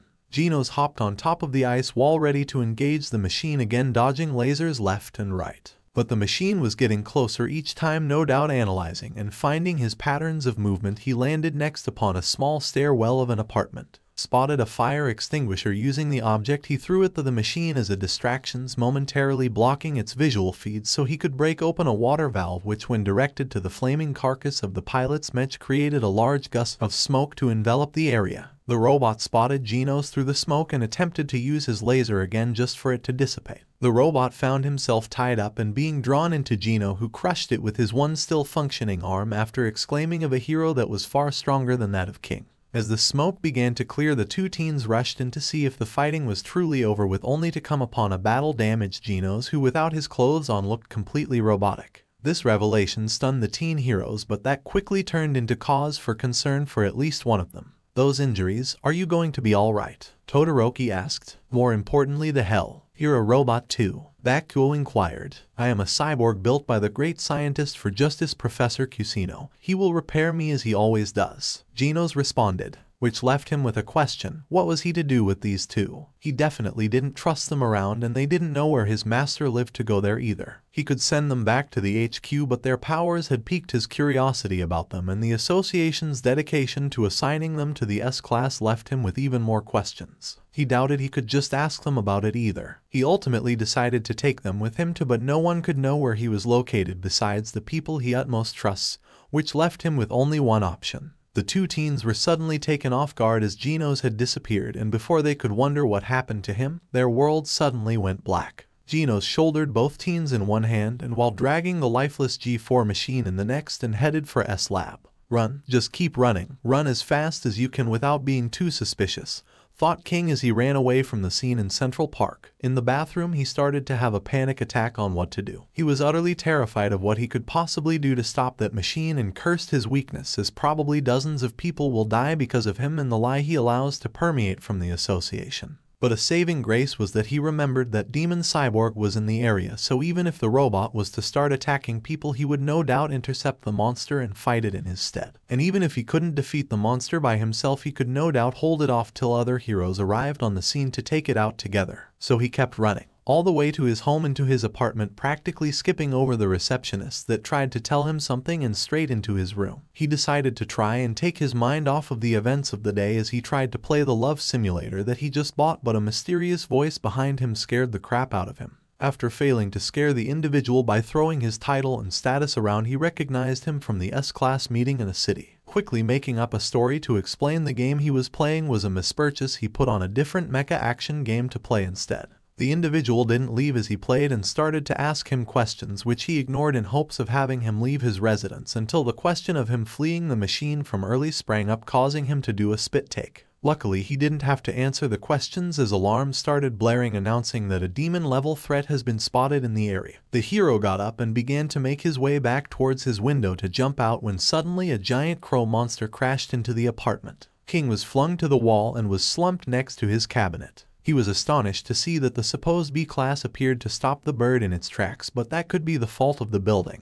He continued to question King asking if he was going to fight the creature, but he was paralyzed and stuck in fear of the creature. But he had to tell the truth to this hero before he got hurt waiting for him to move. He screamed the words as the bird forced its way into the building burying itself inside while most likely eating the B-class hero but as he opened his eyes, he still saw the man standing there and the bird monster completely out of sight. The man was still there and as he spoke to him, he recognized the voice from so long ago when he first got the scar on his face, of a man with black in a tracksuit defeating the monster that hurt him smiling and asking the same question. Upon realizing that this was the man he stole all the credit from he decided to come completely clean to the stranger who revealed himself as Saitama. He told him everything but to his surprise. He wasn't angry at all but asked the question of if he would stay weak and lie or become strong and live up to what people thought of him before jumping out the hole the monster made stating that he would come by from time to time to play some video games, leaving King starstruck, staring out the gaping hole of his apartment. What finally drew him out of his stupor was the sound of his front door unlocking and a small purple teen coming into his room. Confused, he began to wonder who the kid was but stopped as the teen fully looked at the wreck that was his apartment. Lo, the teen ran up to the hole in the wall and looked down at the carcass of the bird monster that hit the building. You really are strong. I hadn't noticed when you came in because I was on my phone but the receptionist let me know. The alarm started blaring so I was forced to evacuate with everyone else as they saw it fly directly here. You're so cool that things must be like a thousand times the size of a normal one and you beat it without a scratch like the magazine said you could. The teenager said, Hold on, who are you? And why did you have the key to my room? King asked, Oh, um my name's Mineta the hero grape juice from the association. They sent me here to train under you remember. They gave me a key to your room to come in but I thought it would be polite to wait for your return first. Mineta said, slightly confused. Oh, yeah I remember that. Crap I completely forgot about that king thought. So you really beat that crow huh? It was said to be a threat level demon which from what I read is a threat to an entire city. While you sure are strong. King sat and thought to the boy's words of praise. He didn't like lying to people and after talking to Saitama the person he would no doubt steal the credit from again for this, decided to be more honest for once. No, I didn't do it, someone else was here and he took care of it. King said straightly. Mineta was caught off guard by that statement. No one else was in the room or left the room as he would have seen them walking up there, and everyone else was evacuated from the building once it was clear that the bird was heading straight for it but remembered what he read about King in the magazine of how he never liked to brag about his power, and would often understate his abilities to the public. So he went along with the man and dropped the topic. Well, what are you going to do now? Mineta asked. King honestly didn't know the answer. His room was in complete ruins now with a giant hole to the streets below, but he was so exhausted from the day's events both mentally and physically that he just wanted to relax for a moment. He went to pull out two handheld devices from his closet and offered one to the teen and said, well, I'm probably going to have to pack my stuff up and be prepared to move somewhere else soon but I can always do that later for now. Do you want to play some games? He offered the boy a device. Oh, definitely. Taking the device in his hands and sitting down on the floor playing games with King until the hotel could properly find new homes for everyone in the apartment complex while rebuilding took place. Building some muscle, Darkshine, Kirishima, Pig God, Sato. Kirishima followed Darkshine into a large gym area. It looked normal to what he was used to with a number of machines scattered around the room to work out different parts of the body, even having a boxing ring off to the center which became apparent to him that they were approaching. The only thing that stuck out as odd to him was the cylinder transparent tube sticking out of the wall. What's with that tube there? he said while pointing at the object in question. Stopping and looking at where the young teen was pointing, Darkshine replied, Oh, that, that's just a gravity chamber. As the name implies it increases the gravity of the objects inside. I had the Hero Association to create something like that so I could train with some of the weights in here. But it's in need of an upgrade. Even with the heaviest weights in here with 100x gravity it's not much of a workout for me. Hearing so much manliness temporarily made Kirishima's mind explode for just a moment and thousands of questions popped into his head but he collected himself before speaking next. Damn man, that's hardcore. I'm curious how high I could go in there. Kirishima thought out loud, which caused Darkshine to laugh a bit. I like your enthusiasm but I think it would be better to start you off with something that you can handle and work up to that point. Even only a 2x increase in gravity can cause significant problems as not only does it affect you externally but internally as well. At the beginning I could only handle 15x gravity, he said as he continued to walk towards the ring. Kirishima continued behind Darkshine digesting the information he was just told. So what are we going to do first? Well first, I'm really curious about your ability um quirks I think you guys call them. Kirishima nodded. Well as someone that prides himself on his muscles being an impenetrable fortress I wanted to see how your quirk measures up. Both the student and teacher got into the ring and began to walk towards the center. Okay, so try to get as hard as you can and I'll tap you to see how durable you really are. Alright sounds like a plan. But just to let you know, in my hardest form my body morphs a bit. Darkshine nodded his head and watched as the teen started to activate his ability. The skin around his arms and legs started to become enshrouded by a hardened material, and his body began to fracture and splinter with hard rock edges. His hand turned into hardened claws. Even his hair was completely spiker and his teeth became elongated and even sharper. He looked like a monster in this state and Darkshine understood why their parents may not have wanted him around regular people and heroes that might mistake him as such. Alright here it is, Red Riot Unbreakable my hardening quirk pushed to its absolute limit. Give me your best shot. Okay, get ready Darkshine extended his open hand and simply patted Kirishima on the back, the blow having an immediate effect on the teenager and flattening him, face first into the mat. He was momentarily worried for the teen as he didn't move for some time and the armor from his back shattered and began to fall off and disintegrate as it left his body, which Darkshine noted as being interesting. He began to stir after about three minutes, coming to and sitting up on the ground and holding his shoulder that Darkshine hit. Dang man, you really are strong. I don't think I've felt a hit that hard since Gigantomachia. Gianto who? Nakia, he was a villain from back home. He was a giant that could grow to 82 feet tall and he hit like a truck but I think you got him beat. Kirishima said getting helped up by Darkshine. I see. Who beat him? Well, it took a combined effort of a bunch of heroes to beat him. One of my classmates helped me be responsible for drugging him and which made him tired enough for a hero to knock him out later on. But if you were there we may not have even needed that. Fascinating. Moving along well now let's see how well you attack. I'll stand here and you will attack as hard as you can.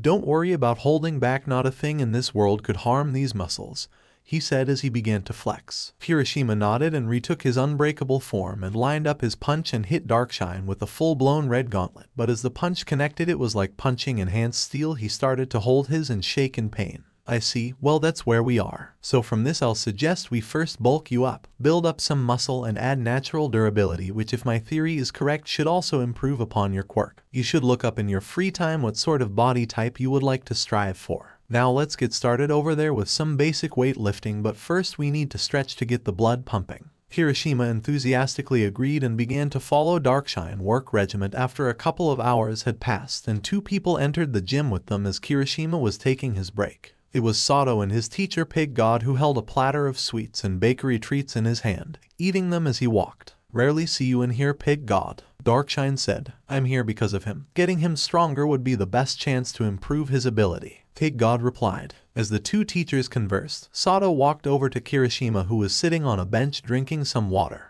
Yo, how's your time going with your pro? Kirishima asked. Sato just sighed this entire time he just had me bake those treats for him. I think he only chose me because he likes desserts and things. Sounds rough, my teacher is super manly.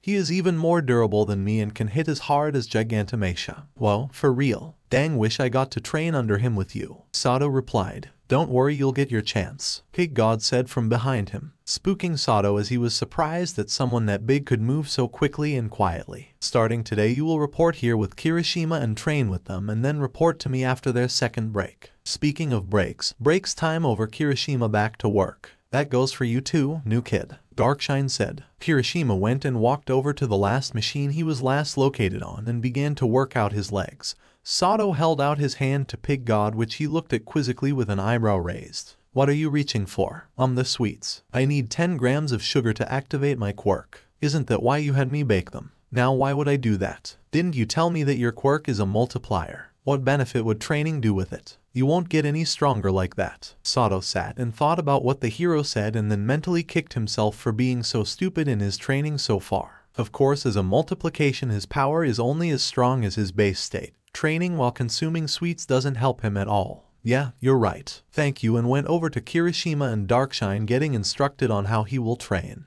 with Pig God waiting on the sidelines eating his buffet of sweets, learning the basics, Bang, Charanko, Midoriya, Ojiro. The car ride to Bang's dojo was uneventful. Midoriya would occasionally ask questions about building and landmarks as they passed trying to absorb as much information about the city as possible, while Ojiro sat and thought on Bang's martial arts. If it is true that everyone here was quirkless and this guy was in any way shape or form as strong as the 1S class hero they met before then he was hopeful that he could learn a lot from Bang.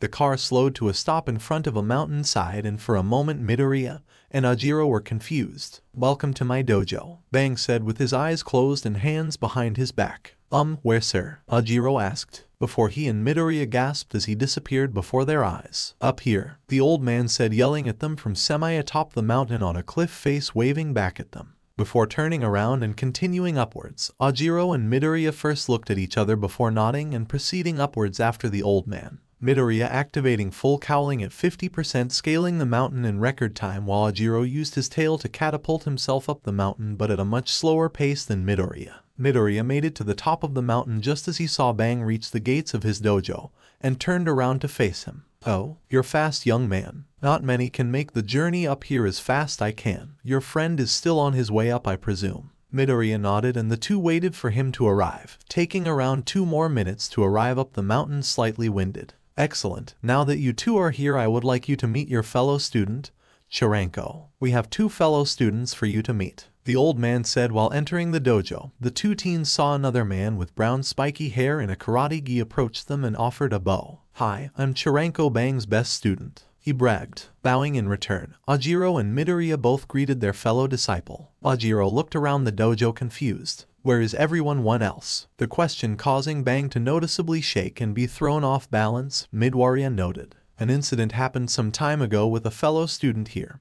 He went on a rampage one day forcing Bang personally to deal with him and throw him out. But the fear never left my fellow students' hearts so they never came back. From then on Bang's dojo was treated like a curse no one wanted to train here due to the potential of that student coming back again and running wild. Also the topic is highly sensitive to Bang so it's best not to bring it up. He whispered the last part disparagingly as they all looked to Bang who simply sighed as he closed his eyes and remembered the memories of all the students who once littered the dojo, and opened them up to being just an empty shell. He fixed his composure again, walked to the center of the dojo and turned to face his students. What is done in the past can't be undone but I look to you all as the future. As long as the fist of the flowing rock passes after I'm gone I will be happy. Now usually I would start with a demonstration of my martial arts, but first I would like to measure my two new students first. Midoriya if you don't mind approaching the center. Midoriya nodded and continued forward along with Ojiro and Charanko, but as he got to the edge both got into a kneeling position just as they met the edge of the ring area as Midoriya continued forward. He got to the center near Bang and was asked to get into a stance. Giving a signal to his student, Charanko started to count down to begin the match. Begin. Midoriya started out at 50% full cowling starting out with a right hook, which Bang sidestep easily, causing him to fly past him. Swinging back around he came back with a roundhouse which Bang dodged again without even looking at him tilting his body just so the attack barely missed. Midoriya tried next to sweep his legs but failed as well having Bang jump over the sweep and in midair turn around to face the teen. He was slightly surprised to see projectiles fly from the teen's gauntlet which he dodged while in midair. He held out his hand for the boy to stop. You don't have to hold back young man, I am a lot stronger than I look. Midoriya gasped and was confused on how he could tell but nodded in understanding anyways, raising full cowling to 100% causing the lighting around him to become more pronounced and his hair to lighten up noticeably earning gasps from the audience on the sidelines. Putting his hand down, Bang nodded for the boy to continue. Midoriya tried again for a straight strike but the blow was diverted off center causing him to stumble away behind Bang still using the momentum he pushed off his feet towards the wall. He was moving towards and bounced off preparing a Manchester smash, but again he hit nothing but empty air correcting himself and landing on the opposite wall he charged forward again his arm back in a Detroit smash position but when he swung he found himself suddenly on the ground one of his arms behind his back and bang over top of him with his leg on his back. I see, you do have the power and speed fitting of the S-Class but your attacks are too straightforward and easy to read. You remind me of a lot of Metal Bat in that way. He released his hold on the boy's arm and helped him get up, gesturing him to return to the side with his fellow students and adding that Ojiro should come take his place. If he couldn't touch you, I doubt I could do much better, Ojiro said. Now now, don't look down on yourself. We all have our strengths and weaknesses. This is not necessarily about winning but an examination of sorts. Statistics sent by the association are one thing but you always gather better ideas when experiencing it firsthand. Bang replied, nodding to Charanko again. He began to count down for the match to begin as he counted down Ojiro and got into a stance mostly known in karate as dachai.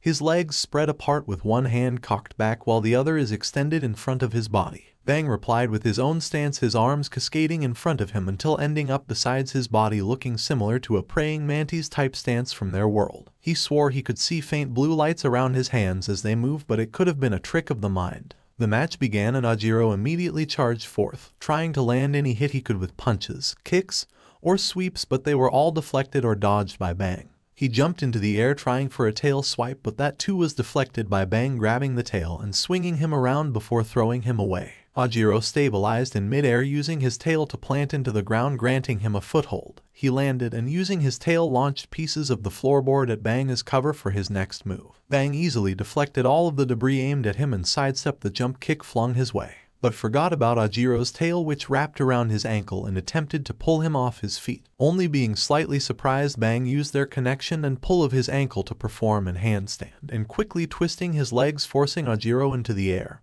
and down to the ground as he slammed his leg down, causing Ojiro to land face first into the ground. Not letting the boy recover, he quickly took hold of the boy's tail with one hand and the back of his neck with the other, pinning him to the ground and signaling the end of the match. He helped the boy get up and explained his thoughts. You see your tail is your greatest weapon, but don't forget it can also be your greatest weakness. You rely on it too much and neglect your body causing an imbalance in your fighting.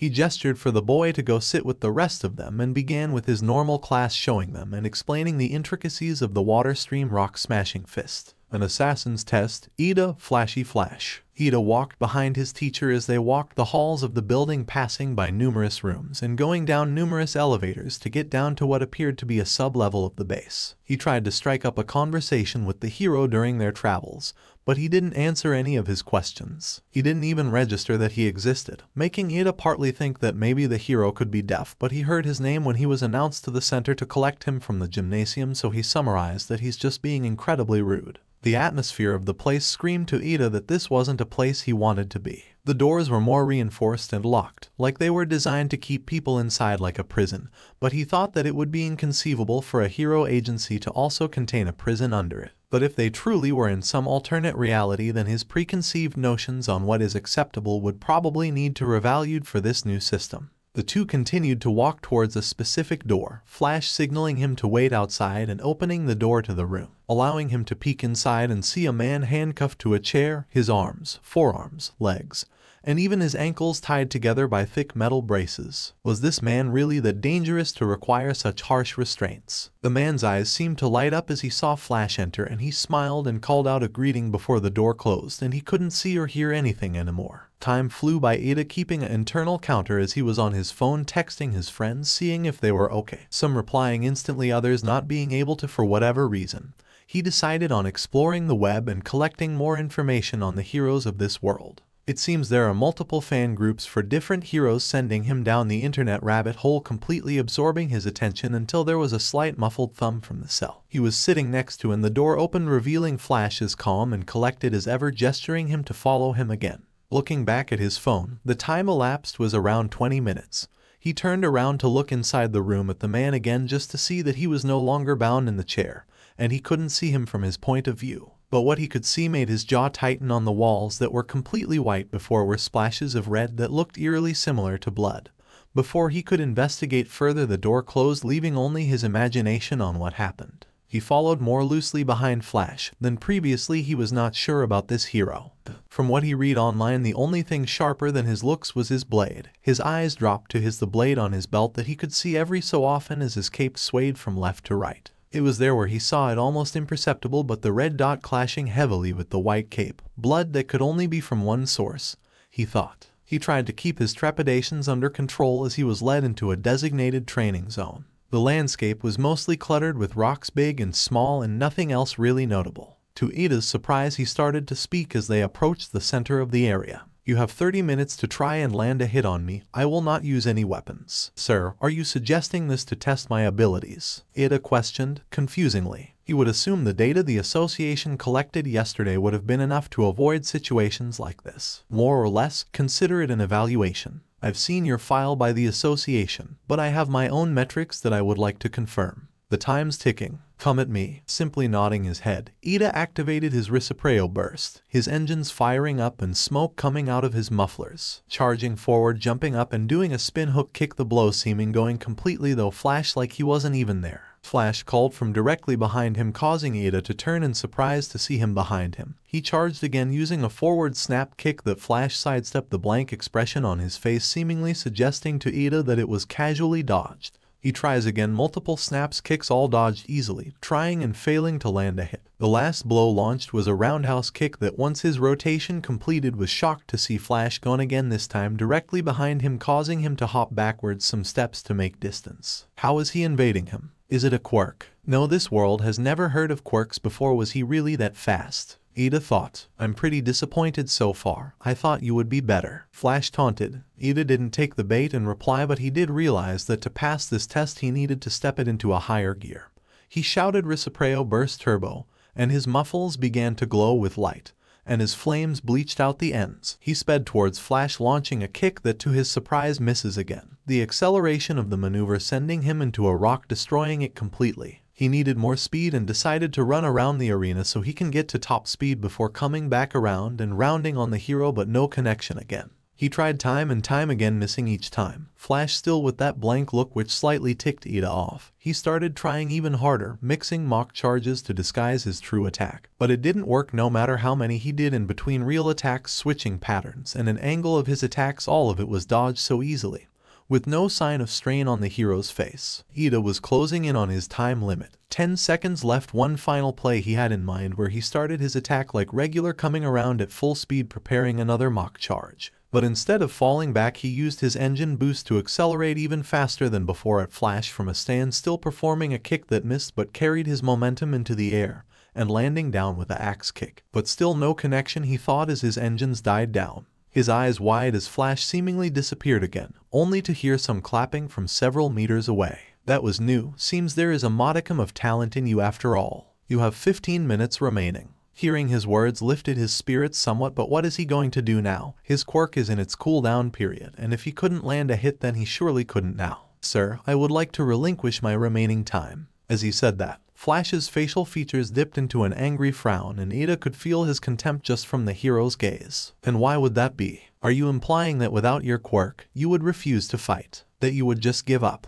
Do you think you would have the luxury of a timeout in a real battle? He said as he unsheathed his sword making Iida's eyes go wide and his body shake in fear of the implication. His mind flashing back to the prison cell and the blood on the wall. You will continue or you have to survive the next 15 minutes against me fighting back. He resheathed his sword. Iida simply nodded and went at him at a terribly slow pace, the kicks performed before becoming sloppier, his balance and movements less refined. Flash sat there dodging while looking at the pitiful display in front of him and realized after five minutes the boy didn't throw any punches at all, either now or when he was using his ability, angering him greatly. The sight became so pathetic that he stopped the exercise five minutes early and proceeded to the exit.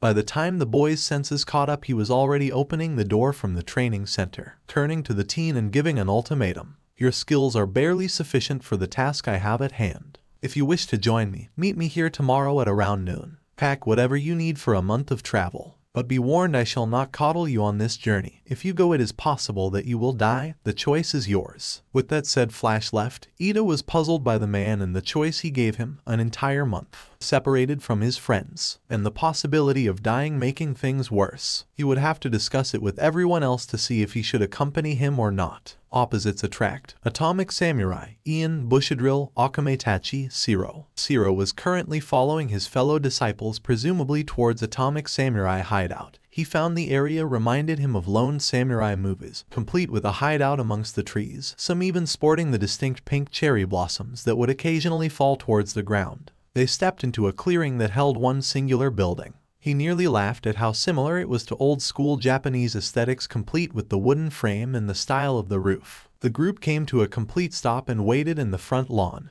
no one making a move to the front door and just sitting down in front of the building in the grass. Aren't we going to head inside? Sero asked confusingly. No, only those who are considered a part of the Council of Swordsmen are allowed to enter. We shall wait here until our master is ready to come out, Bushidrill stated. Well, how long will that take? Sero questioned. As long as it is needed. Kid, you of all people have no right to complain. See class. Okamaitachi said dismissively. Whoa, I'm not trying to complain or anything but I was just wondering is all. Sero held up his hands in mock surrender. After that they simply waited and waited and waited. Sero was getting incredibly bored now. The games he had on his phone were taxing on his phone's battery to play, especially if he didn't know if he needed it or not. After answering some text from Iida he decided to spend the rest of the time listening to music. It had been about 30 minutes before the door to the hut began to open up. Sero turned off his music and noticing the others begin to bow in front of the door he followed their example. Atomic Samurai stepped out of the building bowing to his other council members before taking his leave and closing the door behind him. He turned to look at his disciples and frowned slightly when he saw the extra member. Iaian, I assume this is the kid from the Hero Association. Sero was about to raise his head to reply, but his head was forced back down by Bushidrill, turning to look at the disciple who shook his head at him. Yes, master. His name is Sero, C-class rank 125. But that is not all that is troubling, sir. His main form of attack is with the use of tape. The Iaian raised his head and answered his master's question. Oh, so not only is he a weakling but he is the complete opposite of what we stand for. Correct, master, the said evenly, Sero mentally chiding himself on how they speak like he's not even there. Looking up and pinching the bridge of his nose, Atomic Samurai let out a sigh. Someone in the association must really like playing jokes. No matter, the mission is a go. We will leave for tomorrow and set sail for the island. The trip should take all but a month before we return again, so you all should be prepared. Sero shot up at this before Bushidrill could push him down again. Wait, am I involved in this? He finally got a good look at the man and he was a traditional lone samurai in almost every sense of the word even having a blade of grass in his mouth. He staggered under the hero's steely gaze. He turned his attention back to Iaian. Make sure that everyone is ready. We will gather at the Hero Association headquarters along with the other Council of Swordsmen's members. This shocked the group.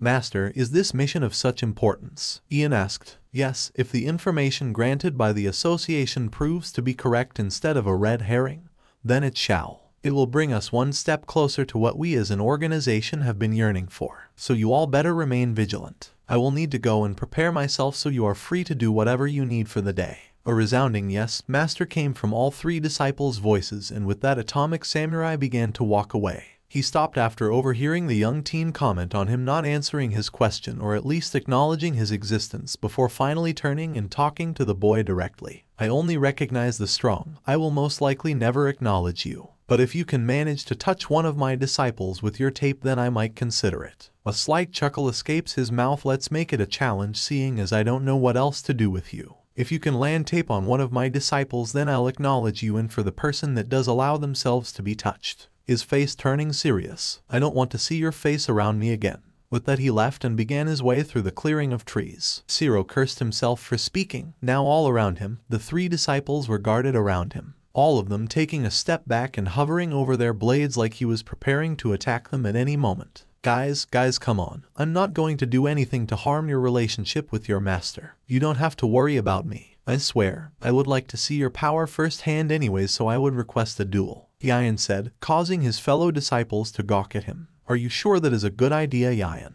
You heard what the master said correctly. Bushidrill said, I understood his message well and I will not allow a single strand of tape to touch my body as expected. But if he is to fight by our side, it is smart to know of his capabilities. This piqued Sero's interest. Fight by your side. What? Are you dumb too, kid? Master made it abundantly clear that everyone will accompany him on this trip. Were you not listening? Okamaitachi stated. Oh, I see, that's something I have to prepare for. Sero thought to himself, as he followed Iaian to another clearing away from the house to begin the duel. Both sides started 50 meters apart and Bushidrill gave the countdown to begin. Once the match officially commenced, Sero shot out one roll of tape from his left elbow. The Iaian did not move or attempt to attack, and to his surprise even closed his eyes, staying in position until suddenly the tape hurling at him completely disappeared in front of him. A long roll of tape reduced to nothing but confetti. Sero tried again and again only getting the same result.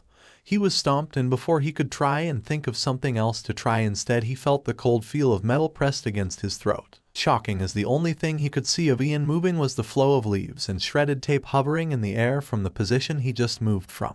The match was over and maybe from being emboldened by Iaian the other wanted to test him out as well. Sero mentally sighed to himself thinking that it would be a long day. We all float. Tatsumaki, Uraraka. Uraraka was currently gazing at the landscapes below her. Countless buildings and structures passed down below her at incredible speed, like she was in an invisible jet. At first once she realized that Tatsumaki was elevating in height taking her with her she was scared of falling or crashing into stuff, but that quickly left her mind as for the past 10 minutes nothing happened. So she decided to enjoy the ride and ponder where the girl was taking her. Her question was soon answered as she started to fall down from the sky slowly going down towards the ground, eventually hovering mere feet above it before being dropped unceremoniously. Looking around there was nothing of note to the area, it was just a mostly barren landscape. Between cities. Um, why are we here exactly? She asked hesitantly. Isn't it obvious we're here to train your Esper's abilities duh? Tatsumaki said while crossing her arms and beginning to glow green, lifting up several small rocks. My WH Uraraka began to ask before dodging out of the way of several rocks being tossed at her. Wait, wait, she tried to say but to no avail as she dodged more rocks that were aimed at her. There is no waiting. As a hero you should never expect someone to come rescue you. As an Esper you should at least be able to create a barrier to protect yourself. Tatsumaki said as she threw more small pebbles at her. Wait I'm not a Esper. Uraraka got out as she dodged rocks from the floating girl, causing her to stop her barrage and the green glow surrounding the girl to vanish. What do you mean, you're not an Esper? Your file said you could float and levitate objects. She snapped angrily at the teen. Well yes I can, but not the way I assume you can. She raised her hand, outstretched showing her fingers these small pads that I have on my fingers are my quirk.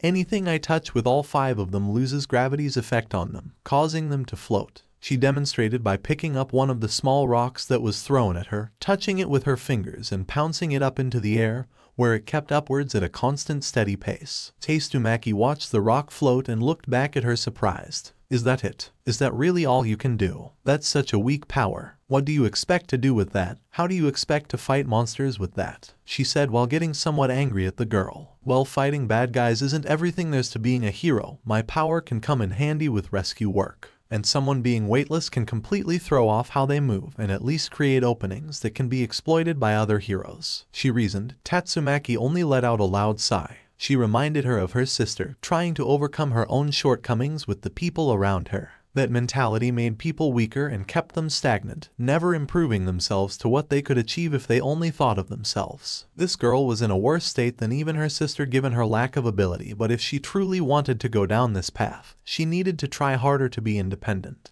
And what if you're the only hero available? Are you just going to let monsters just do what they want? Hell, if your opponent can fly, your power is essentially worthless, maybe even if they had a rope or something that anchors them to the ground. Do you have any offensive abilities at all? She said her tone full of contempt and disdain. Uraraka was somewhat angry by the hero's tone of voice but understood that from the questions asked she was only trying to look out for her safety. Well, I have some knowledge in martial arts and I have these hooks that I have contained in my gauntlets that I use to grab and throw things that I make weightless, she said while demonstrating how her gauntlets work picking up four stones that hovered around them. Seeing this Tatsumaki gave her an idea. The green light returned to her body once more she asked. Tell me is there a limit to this power of yours? Yes a weight limit actually. I think from the test my upper limit is 91 tons if I really push myself but I get really nauseous. But I'm comfortable at 10 tons. She smiled at herself thinking of when she first started UA how she came so far from her limit of 3 tons. I see not very much then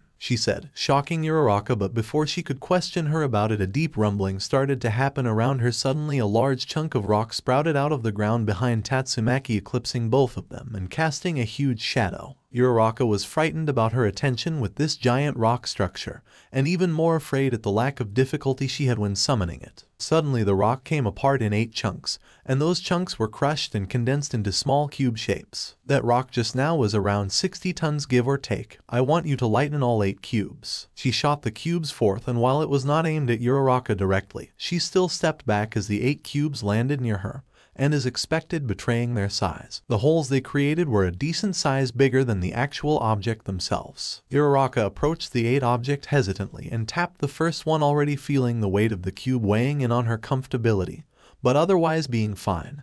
The second cube she already began starting to feel somewhat okay and this continued on her conditions getting worse and worse as she went from cube to cube. By the time she arrived at the seventh cube she was shaking and her stomach being tied in knots. When she touched the seventh cube she started to feel the water pool in her mouth as reading itself for her to throw up.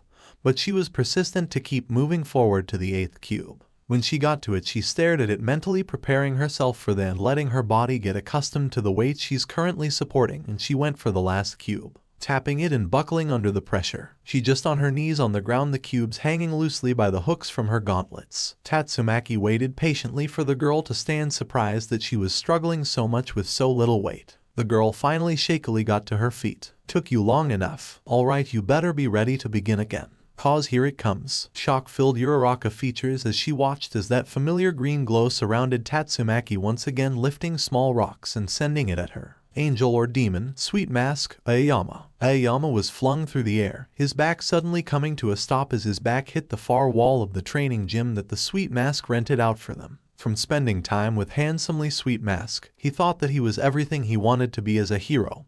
He was a star in every sense of the word. He was a singer, dancer, book writer, and movie star, along with his hero work. He reminded him a lot of Beast Jeanist in a way the hero closest to the public and the one that would reassure the public of the hero's dedication to protecting them from threats. But now, now he was the only threat around and he scared him greatly. He would notice over the course of the day's events that Sweet Mask when alone was a lot less charming and charismatic, quite the opposite especially when pertaining to heroes he disproved of which currently was himself. He struggled to stand as Sweet Mask waited impatiently, tapping his foot and looking down on him with a sense of contempt. Is that really it to your skill and ability? And you want to be a hero with that? The questions he asked Aoyama knew were rhetorical at that point. Anytime he tried to answer his responses only served to make the hero angrier. He finally managed to stand up holding his stomach where he was roughly kicked towards the wall. I expected better, maybe I should take one of your other classmates instead. I remembered you said that two of them were rated as S-class which I would like to check out for myself. God forbid we have two more metal bats running around. You, on the other hand, can be lost with the rest of C-Class. Every word out of his mouth stung, partly because he started to agree with him. Maybe someone else should be here instead. Todoroki and Midoriya were both much stronger than him and they were both incredibly heroic, even more so than him. His mind drifted towards the being's visions again. Was he truly not remarkable or memorable to people? Did his infatuation of sparkly things and shine just a way for him to draw attention? As he thought about this his face began to morph into a solemn and sad state, which seemed to agitate Sweet Mask even more. Look at your face. Are you just going to accept what I say is true? A real hero doesn't ever show themselves weak to anyone. You are supposed to be calm, collected, and beautiful at all times, to give people hope and a figure they can admire to be or follow in. If you truly think what I said is true then you can leave my presence right now if not then try and prove me wrong. Aoyama looked at the hero as he spoke those words. He wasn't completely trying to dissuade him or berate him but teach him to be a better hero. He wanted to prove that entity wrong, and if this was a step into doing that then he would like to train under Sweet Mask more than he wanted to prove to him that he wasn't a complete failure, that he deserved to be a star like him. He began to get into a battle stance and prepared to attack Sweet Mask again, which from what he saw somewhat elevated Sweet Mask features, meaning he was happy with his choice. Aoyama began his assault trying to tag Sweet Mask with a single laser launching multiple at the hero only for him to dodge out of the way or seemingly just phase through as he appeared in another location. While dodging Sweet Mask started to walk towards him menacingly. Is this really all there is to your power? Your attacks are so predictable everyone would tell where you were aiming just by the motion of your hips. He suddenly disappeared from Aoyama vision and he was frightened as he talked right behind the young hero. Do you think you will have the luxury of being at long range against your opponent? Again behind him he spoke. If your opponent is faster than you, what then? Are you saying you have no martial talents at all? Aoyama thought back to the sports festival and how he was easily beaten by Mina once she disabled him and got close. But he trained and now he has something against close-range opponents. His navel saber extended from his stomach and he flung his body around to slice at Sweet Mask, only to hit nothing and hear clapping behind him, turning to face Sweet Mask some meters away. I stand corrected. You at least thought that through although that still leaves the same problems as before. You need to turn your whole body to swing that thing around limiting your range of motion and your range of attack. He suddenly disappeared again but before Aoyama could turn around he was suddenly swept off his feet and landed face first into the ground. Like in this position you are completely helpless here, although a hero should never let themselves be put to the ground but especially in your case as you lose all your options then. He let the boy get up as he walked back over to where he started exclaiming, you have yet to prove yourself to me. If you have anything left you should do it now or I'm dropping you off back towards the association and finding someone else. Panicking Aoyama could think of only one more thing he could do. If his normal laser was so easy to avoid then maybe a big laser would find better luck. With a larger laser, he charged his navel laser and unleashed his supernova attack. The beam exploded out of the boy covering almost the entire gym. Sweet Masked was shocked by the size of the beam and only blocked as the beam came closer to him. It landed with a loud bang and just as the beam connected Aoyama turned it off, but panicked again as he just came to terms of what he did. But before he could ask to see if Sweet Mask was okay the smoke cleared to see that he was relatively okay and dusting himself off. Looking over his clothes only to find that his sleeves had a new hole in them, frowning slightly and taking a deep breath, and composing himself. Well, that's more like it. You may have some hope after all, we just need to improve on some things before you're truly ready. And the first thing that needs to improve is your wardrobe. That cape has to be the first thing to go and those red glasses. They look nothing but tacky. Feeling a bit hurt by him assaulting his outfit he was no less happy that Sweet Mask was going to take him on as a protege. Well, excuse me sir but my suit is actually needed for my quirk. Without it I can't use it effectively. Is that so? Well in that case I'll make a note to the association that allows them to check it over and fashion it into something more fitting for someone that will be traveling alongside one we will get you some casual clothes in the meantime. Almost bounding over to Sweet Mask happily, he began to trail after the hero as they left the gymnasium. We can only evolve through experimentation. Drive Knight, Kaminari, Yaoyorozu. Yaoyorozu and Kaminari were currently walking through what could only be described as an evil laboratory. The entire place was incredibly dark and they wondered if that was just for aesthetic or if the man in front of them didn't need light to see as his body would compensate for it. Kaminari had tried to act tough for her offering to lead the way in some sort of bravado stunt to impress her but that quickly died out as they made their way deeper into the facility especially in one aspect of the facility where some of the man's subjects lied one had reached out to grasp at Kaminari making him jump and instantly jump behind Momo for protection. While humorous she did find the whole thing worrying. A hero seemingly having creatures captured and doing who knows what to them, made her worry for their safety under his teachings or if they would leave this place at all. They eventually came to a clearing with a ginormous computer. As the man walked towards it the area began to light up, showing more of the area. There were several clear rooms that held creatures inside them with transparent glass. Some after seeing them started begging to be let out.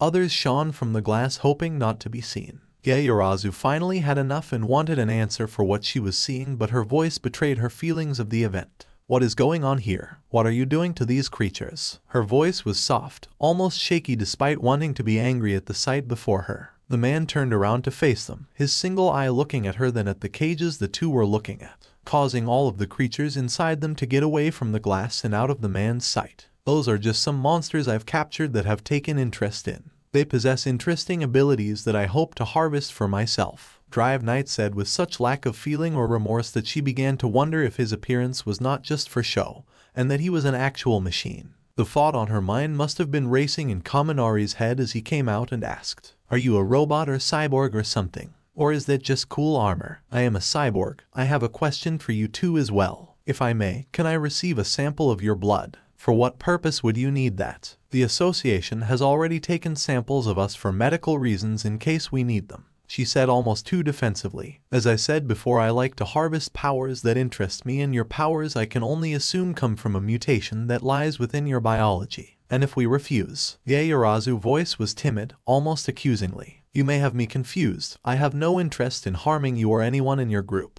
The monsters you see around you are just that monsters. If they were not caged up in here, they would be rampaging around in the cities. Most of them were actually were caught while they were rampaging in the streets. You should not compare yourself to them. If you refuse, then we can leave it be. He reassured them. Well, I'm not sure. I'm comfortable with handing over my blood to you, especially after we just met. Yaoyorozu replied, I'm with her on this one. Not to be mean or anything, but this entire place screams spooky and not too trustworthy. Kaminari Owls declined. True to the cyborg's words, he showed no signs of anger or any emotion at all for that matter, only turning back towards the large computer and begging to activate it. That is fair. Well, alternatively, I would like to ask some follow-up questions based on the data the association supplied to me. The computer began to show the data from the tests they performed the other day. He turned back around and gestured to the yellow-haired boy. Your tests were quite interesting. You can absorb 300 million volts of electricity but can only discharge 5 million volts of electricity before your system is overloaded.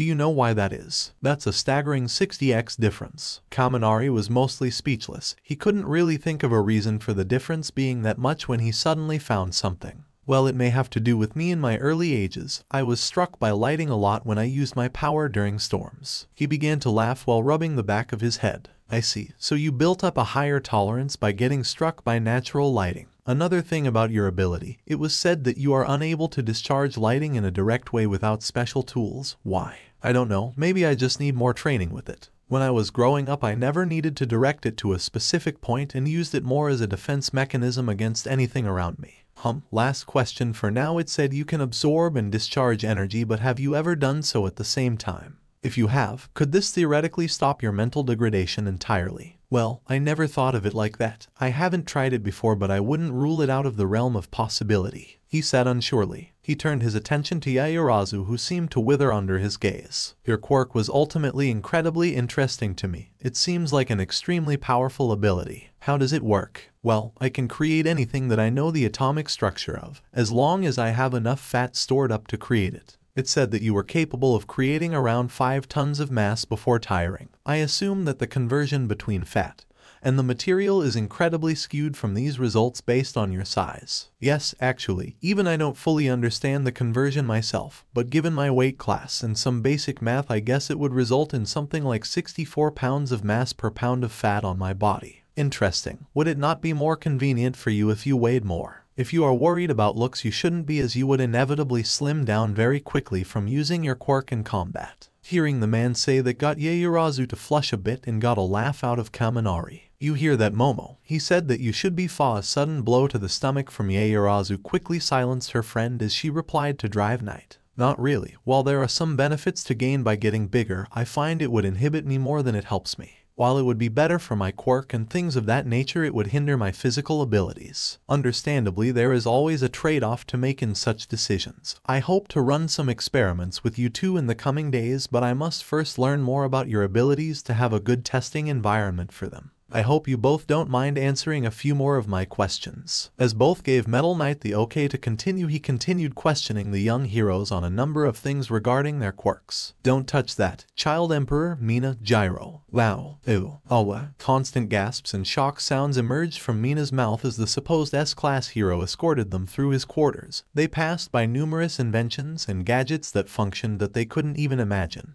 Jiro had to constantly rein me in from traveling too far from the pack as she would try to get a closer look at the machines around her. But even Jiro had to admit that what they were seeing was extraordinary. It reminded her of I Island with the drones and robots scattering around performing tasks, or the multiple monitors scattered about displaying contents of locations and numerous scans of varying types. The hero led the group into some sort of testing area where numerous robots were testing equipment. Mina practically bolted when she saw one machine hold something akin to a lightsaber from their world wanting to hold it, only for the machine that was wielding it to turn away from her and dodge every attempt from her to grab it. Finally admitting defeat she turned to the hero and talked in her sweetest voice. Can I please just hold it? She made a pouting face while rubbing her hand behind her back to play up the emperor merely rolled his eyes at the stunt. No, you'll probably end up hurting yourself. It's not a toy and it's going through its final phase of testing. You're younger than me. If you can, surely I could. At least let me take a picture of it. The guys will be so jealous if they see I was by a real lightsaber. Mina pleaded with her hands together bowing.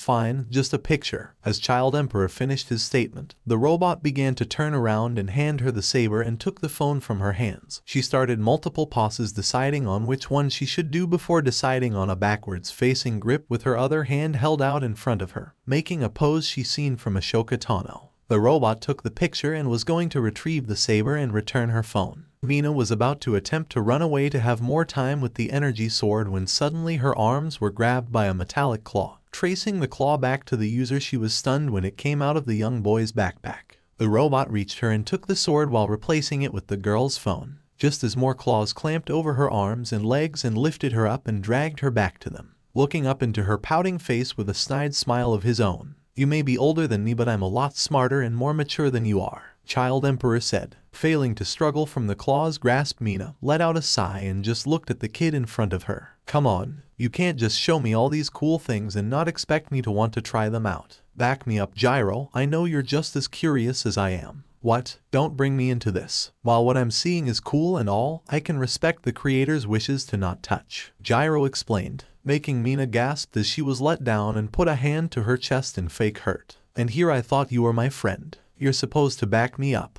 Making Jiro and Child Emperor just roll their eyes at her theatrics. If you were patient, we would have already got to the part where you can touch and test something out already. Child Emperor remarked. This got the pink girl's attention and she jumped up ecstatically. Oh, really? Is it going to be the laser sword? Those missiles. What about something like that backpack of yours? Mina said getting closer to the child in question. Nothing that dangerous for you too, actually it's something to do with your abilities. I believe I made some equipment that should benefit you in combat. He began to walk towards a clear area with a platform rising in the area of a shooting range. As the group made it up to the platform it had fully risen to have what looked like gloves and bracelets in the next. Given the information I have from the Association plus video footage of you both, I managed to build these for you both. The gloves are for you Mina, and the bracelets are for you Jiro. I didn't have much information to go off of for your hands, so using video footage and pictures I guess the dimensions needed. Please tell me if they are uncomfortable and I'll make the adjustments needed. The young hero stepped aside as Mina was first up to try on the gloves. Once attached it began to steadily morph over her entire hand.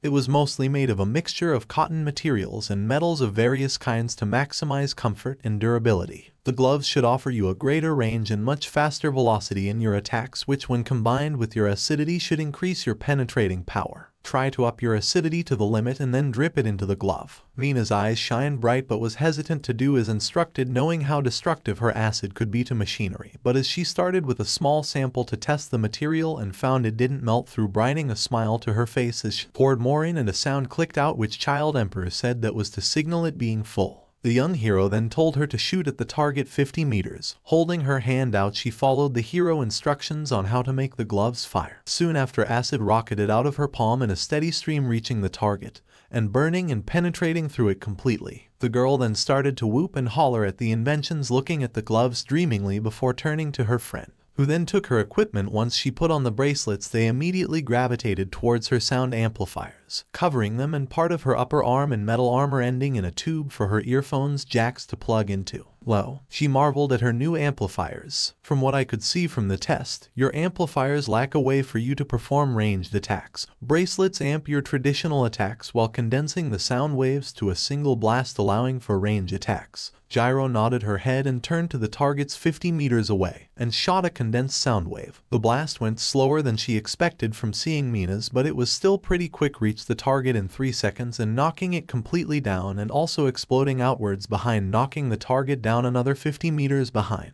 Marveling at what happened, she turned to look at Mina just in time for the pink girl to shoot another shot, but her pose is what got to her the most. It looked almost exactly like. You see that Jiro, I can even do your crush's move now. Blushing somewhat, she stared at the girl. Crush? What do you mean crush? I don't have a crush on that idiot. Sure you don't. I still remember what happened at the start of the battle last time. You were really worried about him. We all were in the front lines away from all of us she defended. Oh, oh, oh, but you were the first one to voice it in your silent words of encouragement. Ah, that got Jiro to blush even more rapidly.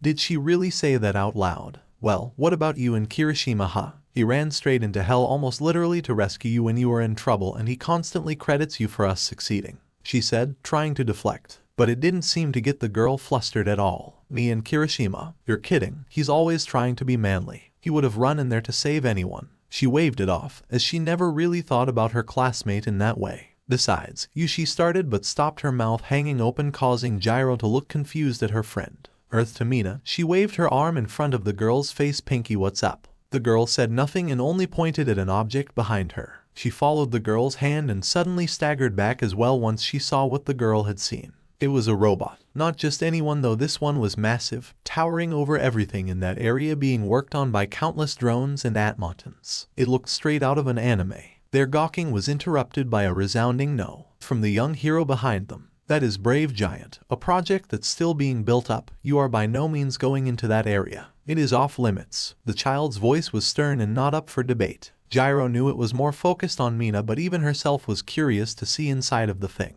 Fine, Mina said back while secretly taking a picture of the giant incomplete robot. Jiro nodded. What are we going to do now? Can we take these with us when we leave? Jiro asked. I want both of you to keep testing and trying them out and give me information on what you think can be improved. I don't want you leaving with them yet though these are still prototypes. I would like more data with you both before handing them over. While hearing a groan from Mina she nodded her head in understanding and turned back to face the targets. I bet I can hit more targets than you, Mina said. Loser, Bizo's the other a soda. Jiro replied. I was thinking, dinner. Mina escalated. You're on. Jiro accepted as they both began blasting away at targets. Inheritor of the tank top, tank top master, tank toppers, Shoji. So alright folks that's all for today. Stay tuned for part 4. Do subscribe, like and share for more such videos. Also check out the story and author Lumpe Spark 3 on fanfiction.net. Press the bell icon to be notified first on release. See you in the next video till then goodbye.